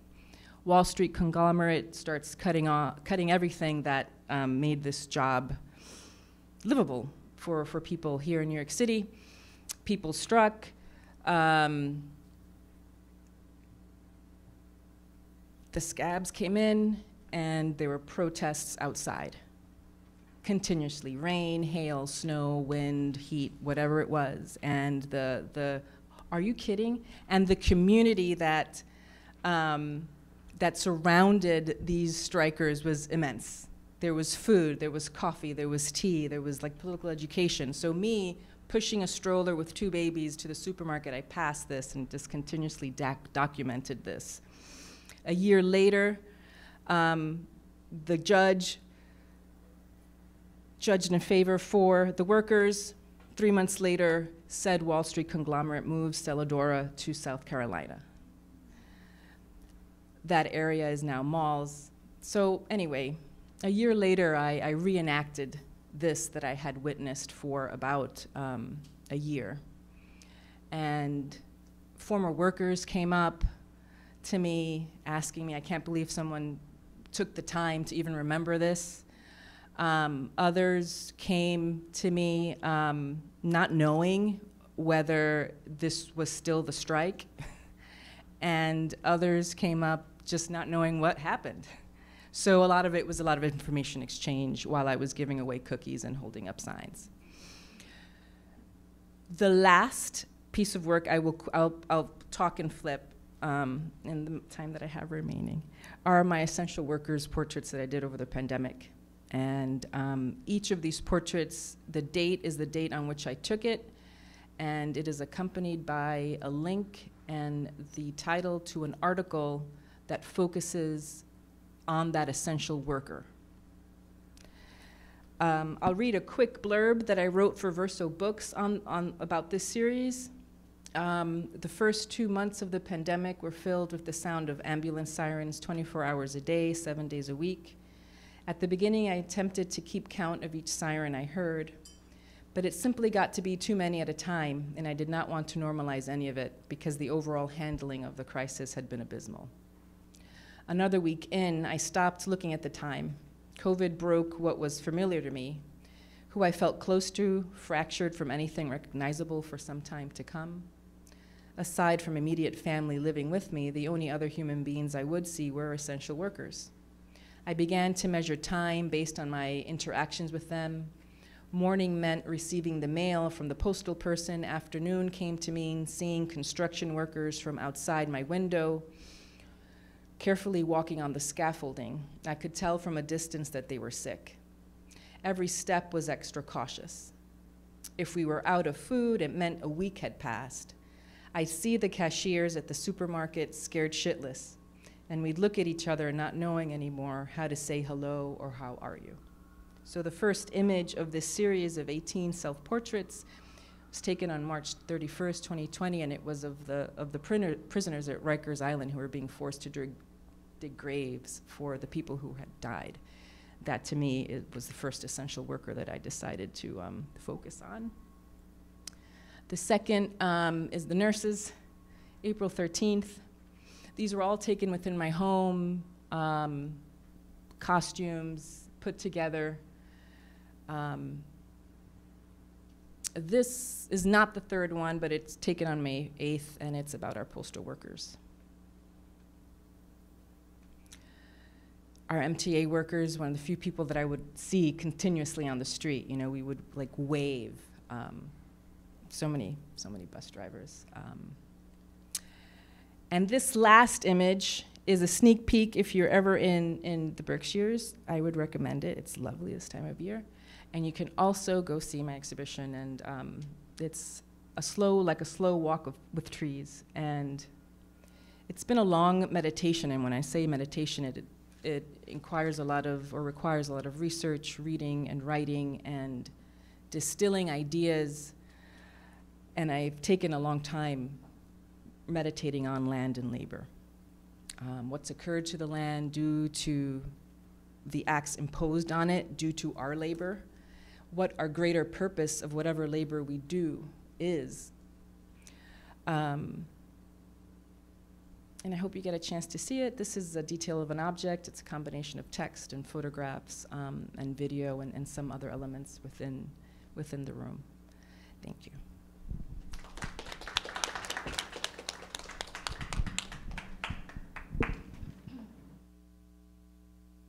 Mentioned it, Sarah mentioned it earlier, but it's at the Mead Art Museum at Amherst College. When is it up until? It's up, use this one. It's up until June 23rd, but there's like, it's closed for two weeks in May. Um, the museum is. Thank you. Uh, no. Oh, it does. well, it doesn't matter. Hello? Okay. I was like, does this is thing work? Excuse me. Right. Um, thank you. It's, it's a hard, hard act to follow. Um, okay. Uh, very good to see familiar faces out here um, as well. Thank you, Sarah and Maddie, for organizing this conference or inviting me here. Um, so I'm going to just start with black. Okay. Oh, there we go. Um, I'll just start by saying, yes, I was born and raised in New York City, specifically Sunset Park, born and raised, um, and still live in, uh, in Brooklyn. Um, I wanted to start, uh, although my, I myself am a socially engaged multimedia artist and educator and lifelong activist, I did want to start by talking about Chinatown Art Brigade, the collective um, I co-founded um, in 2015 with two other artists. And that's really to kind of um, bust the myth that artists are just navel gazers and individualistic and don't care about social justice issues. We don't care about you know what's happening in the world today. Um, and I think that specifically as folks who um, happened to be born and raised in New York City, when we founded Chinatown Art Brigade, um, we really had, have always centered the needs um, and stories of people who are most marginalized and most impacted by displacement and gentrification, um, in this case in Chinatown, right? Um, and so I just wanted to kind of start with um, the example of Chinatown Art Brigade. And if there's time, I'll show some slides of some of my multimedia installation work. Um, but wanted to start with the brigade. And just to also say, in terms of the connection to labor, um, so my parents are both garment workers, um, you know, immigrants from Hong Kong and China you know, unrelated, I found out about 10 or 12 years ago, uh, no, actually a few years ago, I found out that I had a great grandfather who actually came here to work probably on the railroads uh, in Nevada in the late 1800s. And I always knew I had a grandfather that came here, and he was um, a leader in the, the hand laundry worker movement in, um, in New York. He was actually a co founder of the Chinese Hand um, La- CHLA, Chinese Hand Laundry Alliance of New York. Not to conf- confuse with another more kind of middle of the road group. They were much more of a communist organization. Um, but so I had many iterations of my family here, but because of the 1882 Exclusion Act, they actually couldn't stay or build roots here. So just to say, it's kind of very complicated. But anyway, so um, this photo here is um, Chinatown Art Brigade members, and we're on. I don't know if there's captions on this one now. There, do we end up? Not in slideshow mode. Okay. China. Okay, so um, we are on the rooftop of a tenement building in Chinatown where um, some of the members of uh, CAAAV, Organizing Asian Communities, which is the group that we work very closely with, they have a Chinatown Tenants Union. And the Chinatown Tenants Union started a little bit after 9 11. So, folks probably here know that after 9 11, um, everything changed in Lower East Side and Chinatown uh, although there was a lot of focus on World Trade Center specifically, um, you know, a lot of folks, obviously there's the health concerns, people dying of cancer, right? Um, but also uh, people who lost their jobs, like my parents who were garment workers. Uh, garments couldn't get in or out of Chinatown. And then eventually, as we know, all of these, all, of that legislation that we see now pass for sort of around rezoning started really after 9 11, land grabs for real estate the real estate industrial complex, and now all those factory buildings and all the all, all of that what made Chinatown the lifeblood of Chinatown. A lot of it has been converted to galleries, commercial galleries, and office spaces. So all that to say that, you know, now we're sort of at the probably at the latest stage of gentrification in Chinatown, where you have people who are just fighting to stay even in their tenement building, um, in their um, apartment that's been cut up into like four or five um, little rooms. So anyway, um, that's one of the members who who's been organizing um, against the landlord um, on, on, our rooftop, and that was a really special day because we really kind of bonded. We did a we were doing this is part of the same few months. We actually did a, a two month long workshop series with uh, tenants of uh, the Chinatown Tenants Union as well as residents and activists who care deeply about Chinatown, have deep roots in Chinatown. This is in Manhattan. And one of the things we started with was really a story circle, right? Like really kind of uh, starting with uh, Junebug Productions, for those of you who might know in the South, a tradition of story circles. That model um, has really influenced our work. And um, starting with that and sort of just being on a level playing field as artists who are from New York City, right, but in a very different economic situation than the the tenants that we're working with. And um, we decided uh, that we wanted to, first of all, I have to say that our curriculum that we presented, the tenants were like, "No, that doesn't make any sense." They scrapped it, and I was like, "Yes, okay, let's let's start from ground." We started from scratch, and it was their idea eventually to do mapping and to do walks, as well as culminate it into these uh, pro light projections at night onto walls. And I'll just show you photos of that in a second. But this was a walk that we did over um, two weeks, and it was really special because we were able to Mimi, who top right. Um, photo, I won't show you the inside of, of her apartment. This is the apartment we're on the roof of, just because out of respect. But she um, she was living with her mom in a small room, and they were being evicted basically um, because the landlord wanted to turn the whole building into market rate uh, luxury housing. Um, on the bottom right, you could see we also, um, one of the tenants wanted to walk by um, where a concentration of the galleries are, commercial galleries that have replaced mom and pop places. Um, that are again the lifeblood of Chinatown. People started chalking, writing messages. Where you know, do you know what you replaced when you open your gallery? Do you know like uh, you know Chinatown out for sale, things like that. Um, and then on the bottom left, there was a garment worker who worked in a uh, a tenant leader who worked as a garment worker for 20 years in a building. She lived around the corner from it. She said she would never walk by the block because it was too painful.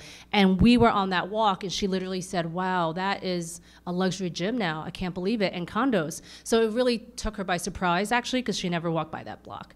So she's talking about that experience. And then top left is, um, again, some of these um, places that have been, um, you can't really see it, it's actually to the right, but they have, again, a place, a bakery that, that has been replaced by a, um, a, commercial gallery.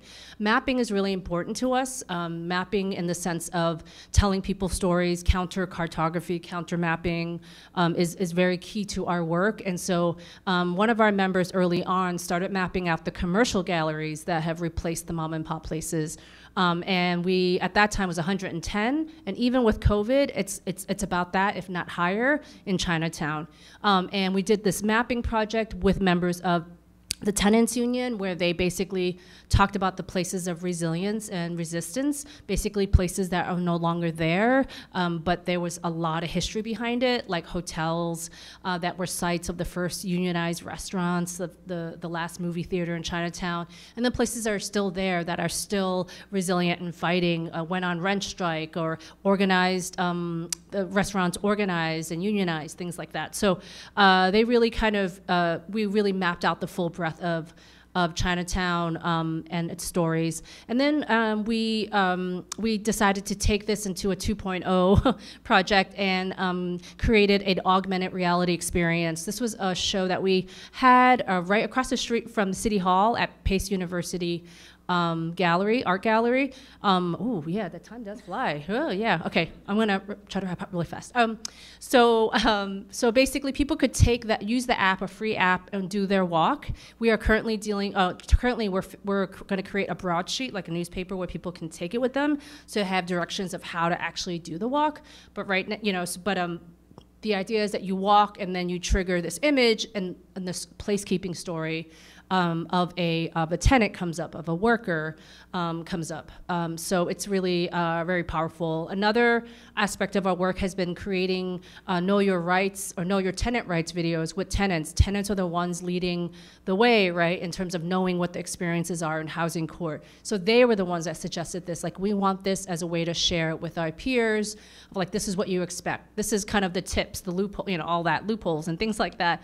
Um, and this um, was is, is still playing on screens at the CAAAV office where people who come in during intake, during clinic days, um, housing clinic days, this is the first thing they're greeted with is seeing um, these videos.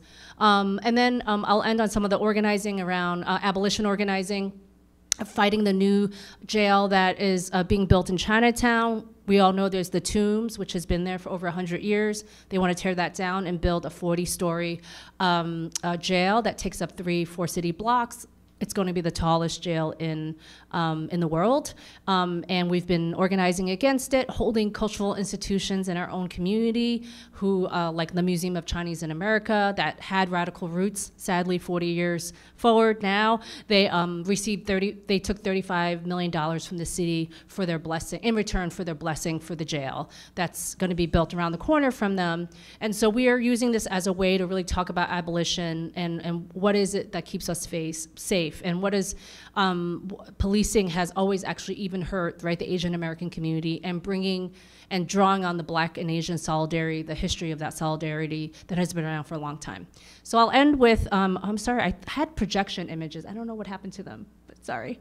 That might be my bad. Um, this is some work that I did. I, I worked on um, two, three years ago, and this is uh, Queens Museum. It's called uh, Resistance in Progress, and it's a multimedia project focusing on working with um, organizers on the ground in Flushing um, that have been fighting the waterfront, uh, uh, the gentrification at the waterfront um, for the last six years. Um, and, and in particular, um, this neighborhood has seen um, gentrification and construction uh, go up by a thousand percent in just a very short amount of time. And so um, collaging of like a, uh, the pr average price of a condo is like a million dollars for a one bedroom. Just, you know, just crazy, crazy kind of um, thinking about, you know, how, how your average like South Asian, Korean, or Chinese immigrants are actually going to survive. Um, so really centering the people's people stories in the neighborhood that it's in. Um, Sunset Park, similar, Displaced in Sunset Park, is an AR and a placekeeping and a mapping story project where um, I interviewed about 20 folks in Chinatown and in the Latinx and the Chinatown part, um, and looking at how gentrif what gentrification looks like. On the Latin Latinx side, it's it's more industry city, and in the Chinatown side, it's much more insidious because there's um, people that look like me but don't have the interests of people like me or my parents in mind. Um, so it's people that look like me, right? So it's really economics, right, uh, at, at the bottom of it all. I mean, at the you know sort of at, at the crux of it. And then this last project was really um, several years ago looking at um, the rise of anti-Asian violence and its roots that go back obviously to the to policies like the 1882 Exclusion Act, like internment camps of, of, Japanese during World War II. But more importantly, I wanted to really draw on, um, again, Black and Asian solidarity and really um, challenge the dominant narrative that Asian Americans want more police in our streets to keep us safe, and that um, actually many people don't want that uh, for many different reasons. And so this was a chance to talk to people in neighborhoods and collect their stories and project them onto walls at night. And I apologize, the one image I, I thought I had in there was our projections in Chinatown where we projected people's stories, tenant stories, but um, you can find that online um, on our website. Um, and we did a few of those, and that was really beautiful. That was a culmination of our workshops where people told their stories, and then we used that as an organizing moment where tenant organizers talked to people on the street about what was what was happening, and and and actually using that as a way to um, draw attention to the organizing um, of tenants who are fighting back. So um, I'll stop there. Sorry.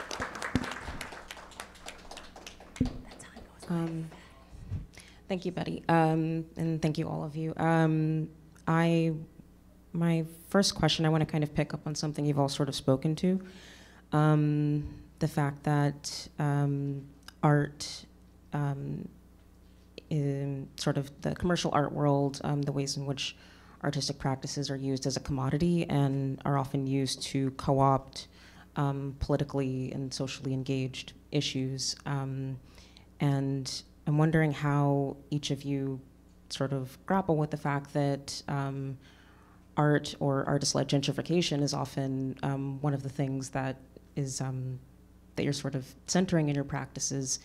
Um, how do you navigate the field with that with that knowledge? It's something I deal with too as a as a writer. Um, yeah, and maybe I can start with Betty. Um, I mean, I think that um, when Chinatown Art Brigade first started, um, we had the ear of a lot of folks. I think it was right after Trump was elected. And um, our comrades at Decolonize This Place, who I love dearly, um, had a residency at Artist Space, uh, which was, they were on Walker Street at the time. And um, we had been collaborating, and they're like, what if you did a town hall meeting and invited these gentrifying artists um, and galleries um, to this town hall, and you really put a pledge out, and you and, and you put a call out, right, like a call to action.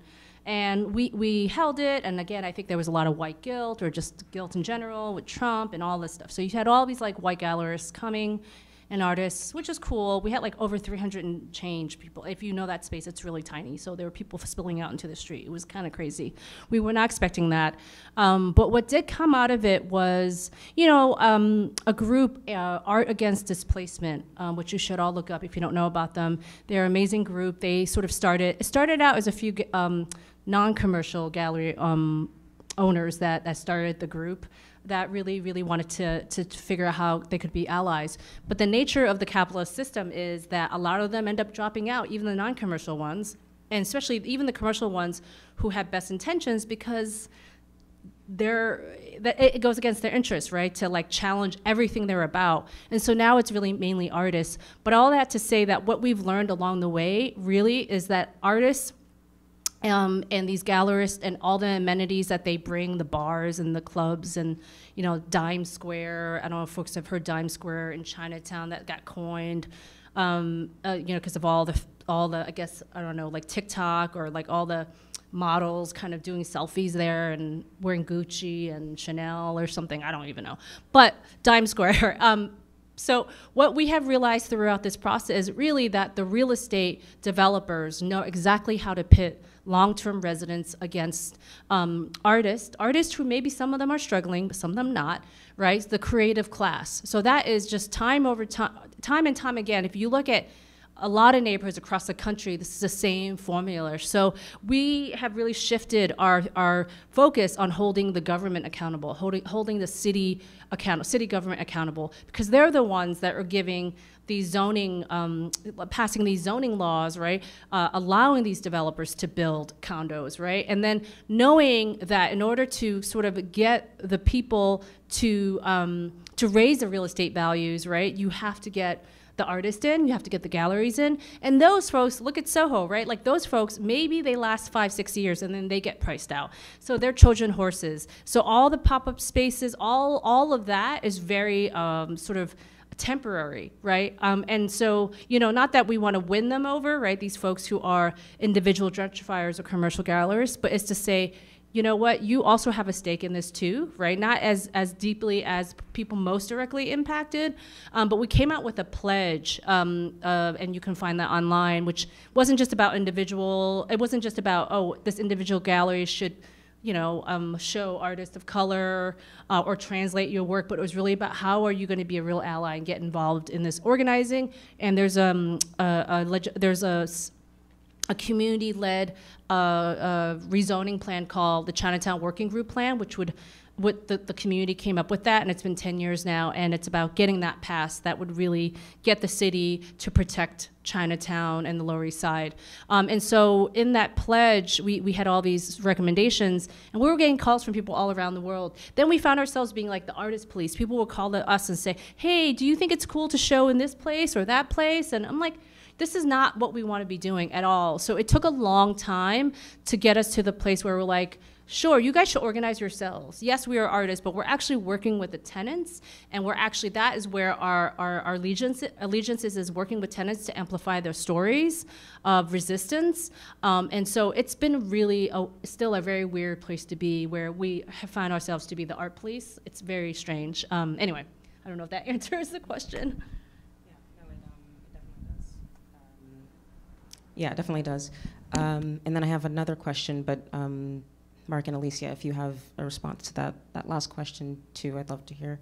But um, there also, within the art world, there are all of these um, sort of overlapping forms of labor, labor um, because the creative practice is not um, enough to sustain us. so the idea of an art worker you know, emerged in the in the 60s, Art Workers Coalition, Black Emergency Cultural Coalition, um, a lot of the union organizing at MoMA um, and other museums that kind of followed in the wake. Um, how do the um, each of you sort of, or we kind of heard this, and Sarah reading each of your bios, how did these overlapping forms of labor inform your practices? Um, do they intersect? Do you see them as distinct? Um, how do you sort of hold space for the, the creative agency you have as artists as opposed to um, sort of the work you do maybe with within or adjacent to institutions. I'll try. I'll try to repeat it. Um, how do you see uh, the overlapping forms of labor um, within your lives, within your work, kind of influencing your creative practices?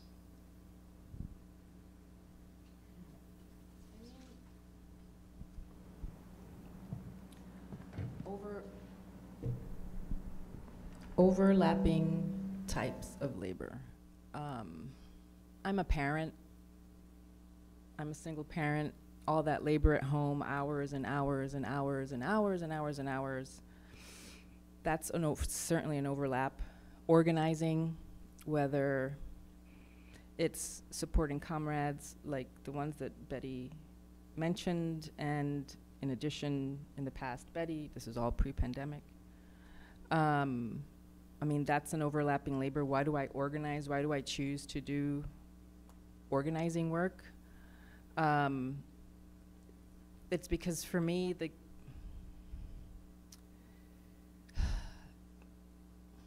it's what I have to do to keep my own dignity in this world. Um, I am born and raised in New York City. My parents immigrated here. that did. They were not. They were escaping uh, political extra, you know, shit. Um, the U.S. had invaded their country the year after the assassination of a brutal dictator. You know, um, there's a sense of responsibility for me to be present in my community, in however my community, and I, we all belong to many different communities. That's another thing. Um, so for me, it's I guess it's I don't see them overlapping because it all it just all just exists for me. Like I'm I'm an artist. That's what that's what I do. So I use the skills that I have to try to make a dent because I don't like the way that the world is moving. And this is the 21st century. It is 2024 and we're repeating the constant bullshit you know, generation after generation and I I'm, I'm tired. I'm sincerely, like, just physically tired. So what do I do? I can't fold, so I have to focus. So I use these, these tools, you know. Because my parents are immigrants, you know, I'm Dominican. So Washington Heights, you know, last century, I'm a half century year old, you know, years old. So, you know, immigrant communities, you had to organize. It was all through community. You know, if it was fighting for language rights. You know, there, I have these memories of people filling the living room in my house, and I'm like, why are all these people here? My parents were organizing because there wasn't enough like interpretation or language, and they were hella Catholic, so a lot of it, you know, a lot of the organizing took place at church or with church folks at my house, you know. But it, it even if it was just food justice, you know, how do we get better food in in our vicinity? Um, so for me, it was just, it just is what I do because I live on this planet. Um, and these are the choices because I want to find more purpose in, in what I do. There must be more purpose in what we do. Even if we look at the bees and the and beavers, there's a purpose to their labor. Um, and that's a question that's I've been meditating on for, for quite a while.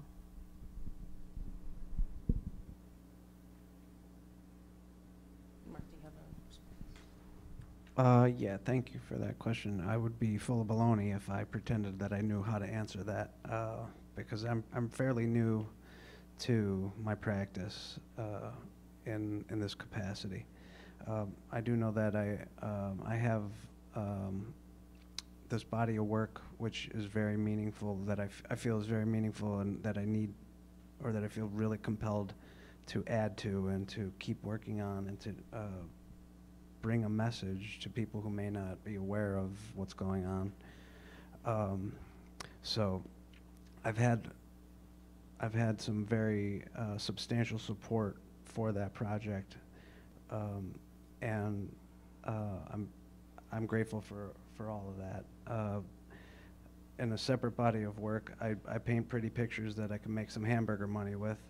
So then there's that commercial aspect. I'm not represented by a gallery. I, have never had a, a, commercial gallery show. So I'm still learning how that intersection works out. Uh, but I feel like the most important thing that I have going on in my life right now is uh, bringing a message um, and adding to the portrait project in a way that uh, continues to bring awareness of the issues that we're talking about today and ultimately to propel legislative momentum that will change the things that we're talking about.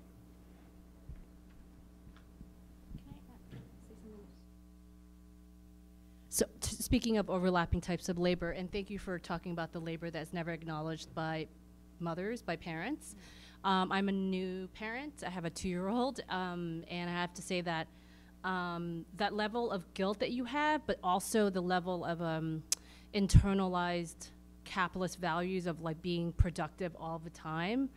Um, so it's the guilt that I'm not with my kid all the time, but also this feeling that as an artist or as a, uh, a adjunct professor and all these hats that I wear, that I have to do all of them, right? Like all the time and not decrease it because um, having a child. We just were talking. I mean, it's beyond. I mean, the amount of respect I have. I've always had that respect, but it's just beyond what words can express in terms of uh, parenting. Um, and um, I feel like people who do domestic labor, right? I mean, we're just not compensated for it. folks who are caretakers, um, folks might know about um, what's happening with um, home health care workers who were actually on hunger strike the week before last. Uh, they were on hunger strike for a week, and then they're picking it up again on May 1st. Um, they're actually protesting the 24 uh, 7 uh, workday, um, where uh, basically they are only paid for eight hours, but they're expected to be there for 24 hours living with the person they're taking care of, um, and it's completely inhumane. And most of the folks who were um, hunger striking were women of color, immigrant women. Um, but I also think about my own mom, who was a garment worker, who um, basically, you know, worked 13 hours a day in a garment factory, came home because my dad was my dad. My mom would do all the housework and cook and, and all of that, and had to be super mom. And so I really think about that labor, that invisible labor that is just not recognized. So a plug for actually a show that I'm a part of at Old Stone House in um, Park Slope, and the whole show is about actually women's work, um, particularly moms and mothers' work um, and caretakers' work that is, is not acknowledged. So it's about a, a, utopian care economy and what that would look like. So that's at Old Stone House. That's up, I think, until May. So I have some work that I uh, did with uh, the National Domestic Workers Alliance, where I interviewed some domestic workers, some nannies, um, about their work. Um, that's in there. But I just want to say that, um, you know, like labor, it looks, it, it looks like it shows up in many, many different ways.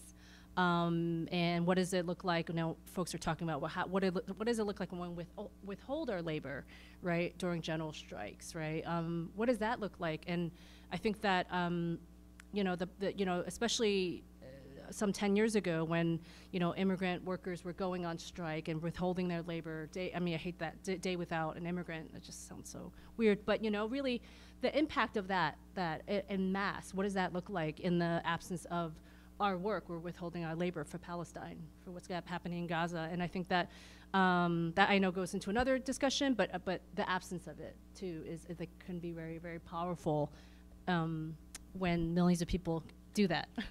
and sadly, this country is um, not really that powerful when it comes to general strikes, um, like other places. But anyway. We're only valued for what we produce. When we stop producing, we're no longer valued. Case in point, cis women after a certain age.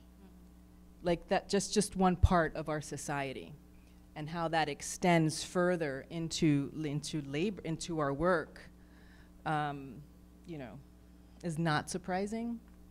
You know, even older people, they're just not valued. You're, you can't produce anymore. Go, we're gonna send you somewhere. And we don't want to see you anymore.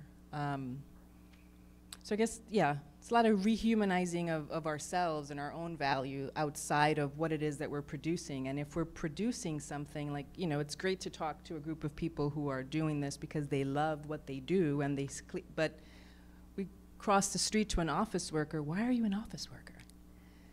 I have this and this and this to pay, and I have this and this, and I want this and this and this. But what's that greater purpose?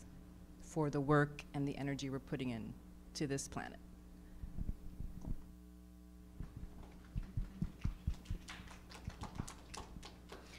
Um, yeah, as you were um, both speaking, I was thinking about, um, well, Silvia, Silvia, Federici talks about um, sort of framing labor within the organization of wages for housework uh, around the idea of reproduction. So um, the ways that um, mothers in particular but also kind of looking at people who work within domestic spaces, how that form of labor is undervalued, but how we can't really have a, a fair conversation about labor until those forms of labor become more visible and become more um, recognized. And, I mean, when you brought up Silvia, you know, it's our, our whole, the whole chattel slavery system here in the United States. It's like we're in the Western Hemisphere, excuse me, in the Western Hemisphere. You know, working someone until they died, no, no, you're no longer valuable. Okay, next. And, and how do we break that cycle? Um, is, is our next task, because I think that in that we'll find a lot of solutions to to the problems in our world, and we can name so many right now. Um, Mark, I had a question about the um, about your portrait project. Um, I am trying to remember when I saw it at PS1 whether or not each of the portraits are um, titled or named after the sitters, or is there a kind of um, a, a sort a kind of anonymity um, to the people sitting, and is that kind of part of the project? Yes, uh, there's no names that are attached to the individual portraits. Um, I know most of the gentlemen who sat for me personally, and I have a list of their names. Um, but I, I, uh, I wanted to make it anonymous to protect them, and um, I felt that um, it was, it was more so about the collective of, of us all. And uh, although there are very interesting and meaningful and important individual stories that are going on and um, responses uh, as a viewer that you'll experience. Uh, the gran- it's the grander picture that we all came together for to achieve that, that experience. Yeah, thank you. Um, yeah, I think the idea of, of um, the idea of the collective within collaborative modes of art making is um, also something that you've all talked about. Um, and I think in the in the U.S., it seems the idea of an artist collective is not necessarily as prevalent, um, and they tend to come out of um, situations of precarity, and you see more artist collectives um, in places. Um, thinking of Gudskul in um, Indonesia, where it's a collective of collectives. It's, there are so many collectives, they needed a collective to kind of organize it all. Um, and so I'm wondering if you could, um, I mean, you've all sort of spoken to this, but um, yeah, kind of how the idea of collective work sort of informs your organizing.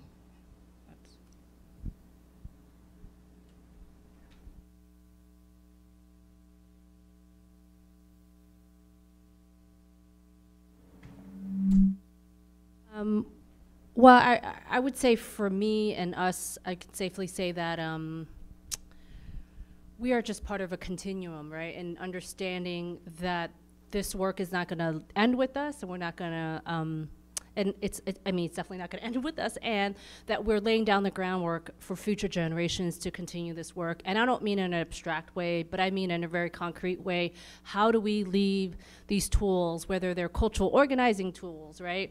Um, uh, you know, uh, literally like a toolkit or, or, or, or sort of kind of um, a manifesto, if you can, if you will, um, of, of, approaches. That how can you know? Um, I think that taking the ego out of the artist is very important for me. Uh, I think we all have egos, obviously, right? But when we're working in a collective and being inspired by not only other artist collectives but movements. Um, you know, uh, you know, it humbles you, right? And to understand that this work has been going on for centuries, you know, this resistance work and even cultural organizing.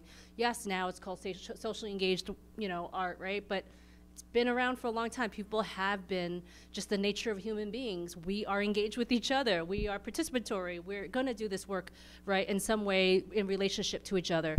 So kind of understanding that, and um, you know, I keep going back to just uh, the work of Emory Douglas as the Minister of Culture um, in the Black Panther Party. Very as a teenager, even before I you know, I kind of knew I wanted to study photography and film, but wasn't really, I kind of was involved in Chinatown organizing in high school, but not really.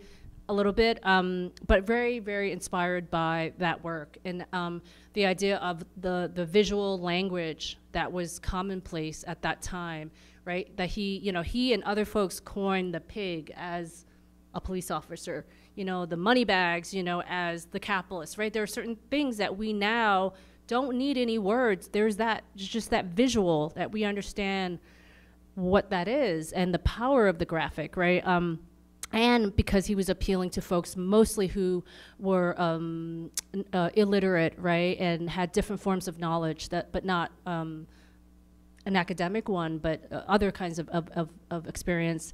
And him really just kind of understanding that and having a pulse on the sense of where people were at. And I think that uh, ultimately for me, um, learning from other collectives like Basement Workshop, which is a, um, a collective um, from the 1970s in Chinatown, where uh, uh, my comrade Tomie Arai, who um, is a co-founder with me of Chinatown Art Brigade, who was also a founder of Basement Workshop, um, at that time they were like wanted, they were so inspired by the Black Liberation Movement and by what was happening throughout the country, and they were like, how can we put our so ourselves in service of what's happening in Chinatown, even in the 70s? And so they came from all walks of life, and a lot of them dropped out of school and started to just organize, like whether it was through art and culture or just be involved in organizing. And so I'm very inspired by by movements from that time period, actually. Um, but I'm, I'm, not sure if that answers your questions. But all that to say that for me, it's really decentering us as a uh, as a as a as a collective. Like I, I, I I have mad respect for collectives who are able to function not as like nonprofits, right? Not as like a 501c3, but collectives who are horizontal in, in decision making and you know screw. You know, I mean, I we work with nonprofits for sure, but we're very specifically not one. We were consciously. Everyone asked us, uh, like the last 10 years, um, you should become a nonprofit, right? We're like, no, that's not the point. So it's not the point. It's not that we want to work ourselves out of a job. It's not like we want to become people who are on salary. And that's fine if you are, but that's not our purpose. And so really to, de- to decenter us as artists, but we're kind of use, using ourselves as kind of vessels in a way. Um, also having agency, but it's, it's really about how do we kind of uh, create a new kind of uh, working class art and culture that is really truly working with people who are directly affected. So demystifying the cultural production aspect with folks who normally wouldn't have access to these tools is just as important um, to us. Um, it's, it's really vital. That co-authorship, that co-ownership is, is really central to, to our work. Going to piggyback off after something you said um, just now.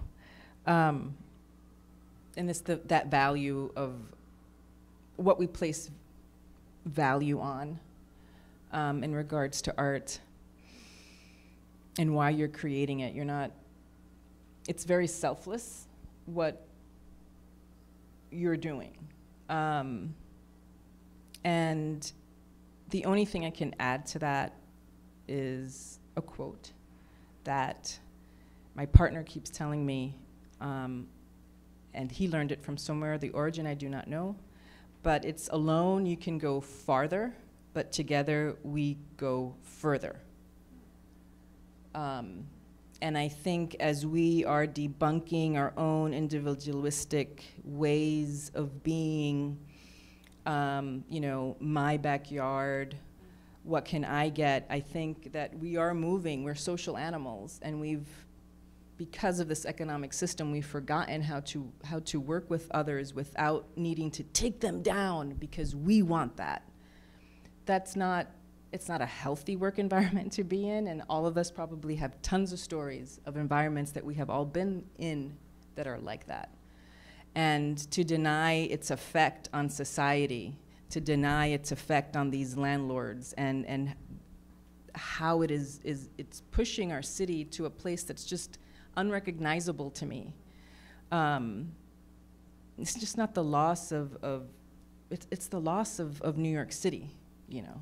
It's, this is the suburbanization of my, of my city, and I'm gonna say that. Um, and I don't like that. Um, because suburbs were meant to segregate. They were meant to keep apart. Um, they were meant to stratify. Um, that's all I have to say on collective work. I'm, I'm re-entering collective work artistically since leaving theater. Um, and working on my own. So most of my collective work has been through organizing, either through the People's Cultural Plan or through a mutual aid group that we formed called the North Bronx Collective. Um, that work, that collective work, um, has has just reignited my wanting to work with people artistically. That's at the end.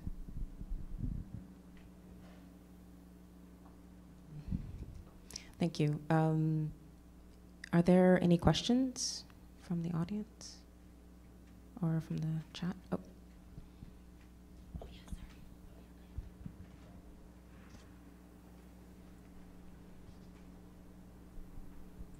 Um, I was so moved by all of your art. Um, I could just stand here and stare at it and, you know, have it just overwhelm me. Um, Mark, I wanted to ask you, because I know how I am with people, um, what an intense situation to be creating your art in. Um, I'm just wondering about any kind of um, feeling of responsibility, like, oh, I promise I'll get this picture of you shown someplace else, or I promise I'll share it. You know, like, I mean, just a connection back to the people who sat for you. It gets pretty intense when people are sitting for you. And um, so, yeah, I just wanted to talk about that. Thank you for, thank you for that question. Um, yeah, I, I, feel a huge responsibility to um, provide visibility for these gentlemen and for all the people who are incarcerated through those portraits of those gentlemen. Uh, um, you know, that's why they signed up to sit for that half hour. That's why they took the risk to meet me in the gym when we weren't supposed to do it. You know, they'd stuck their neck out. So um, it's, uh, it's an honor to have that responsibility. And um, I'm, I'm going to continue doing it. So thank you for that.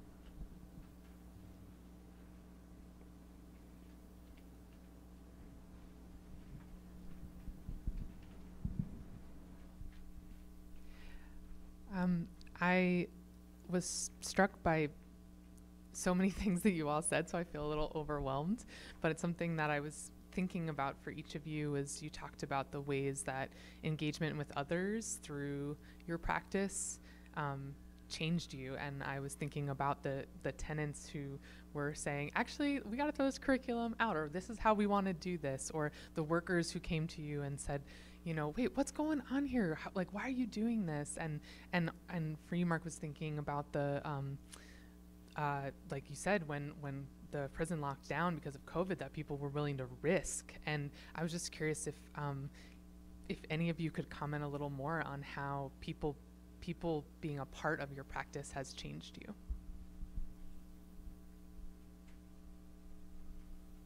Not complete without people. I'm not doing this for myself. I would just put it under my bed, but I'm, you know, I, I want to talk to other people. Need to communicate. This is one form in, in which I communicate. So, um, and through that communication, then I get to listen to them, and that's where the learning starts. For me, um, um, through the portrait project, I was able to meet and talk to and um, learn about so many of these people that I wouldn't have uh, probably otherwise been able to make that connection with. And through those discussions, my empathy began to grow and my understanding of other people's situations and um, there was a real connection that happened by doing that.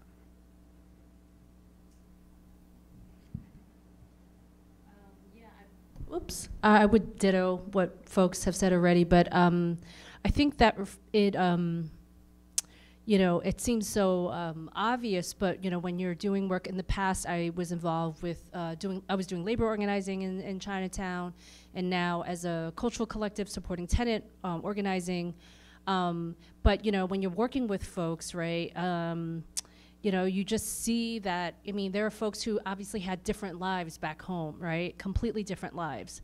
Um, you know, whether they were, you know, maybe on the higher, you know, higher, upper echelons of society, or also um, a migrant worker where they were, or working, you know, uh, manual labor jobs. But every single person um, has a story to tell, and every single person has a creative approach and a way to tell their story, right? So it wasn't like, you know, um, you know, for us, it's never like, oh, we're gonna hold your hand through it all, whether it was like a video or like, how do you want, you know, your story to be, be portrayed on a projection slide, right? Uh, we work with them uh, over a period of two weeks to create their, their stories that were project projected on these walls at night. Um, and they all had a vision. Um, and a lot of them are writers, they're poets. Um, uh, you know, uh, some of them are opera singers. You know, one of the uh, lead members of the Chinatown Tenants Union is, a, is part of a Fujianese opera club, um, an amazing storyteller um, uh, through, op through Chinese opera. And uh, a, a, calligraphy artist. I mean, all kinds of things. So just to say that, you know, um, you know, it really kind of puts you in your place, right? As someone who's like, well, actually, I'm learning a lot more from them, to be real. Um, and you know, maybe they're learning a few things from me, but I have learned a lot from them in terms of just uh, storytelling, right? In terms of just like the social practice of all these things, um, and um, the different iterations that we are um, we are sort of uh, approaching this work and, and each time it changes and it morphs and that's the beauty of it and the excitement of it is because it's not fixed because you're dealing with people. Um, and um, that is the the sort of active i don't know what you were you were saying something about like humans are we're sort of just like we're just it's all active organism. It's just it's all social social social uh, yeah i mean just i know it sounds so bizarro and corny but i mean just meaning that what excites me as an artist is that I'm constantly working with people, constantly creating situations for, for participation. And that's what excites me. I, um, like you were saying, like, I c- I couldn't just be someone who's just in my own head um, all the time. And th- that's, that's not who I am. So um, I'm constantly learning, um, and it's constantly changing and improving my practice, I guess, or our practice as a collective as well.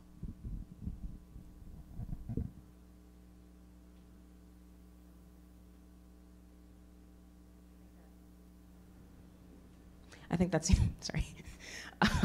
I think that's a good place to end. Um, and yeah, thank you. Um, thank, thanks all of you. Um, if you have any closing remarks, or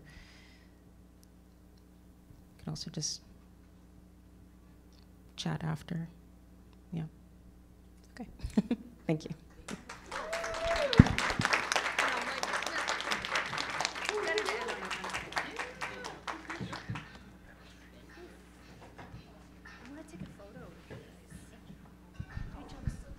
Thank you all.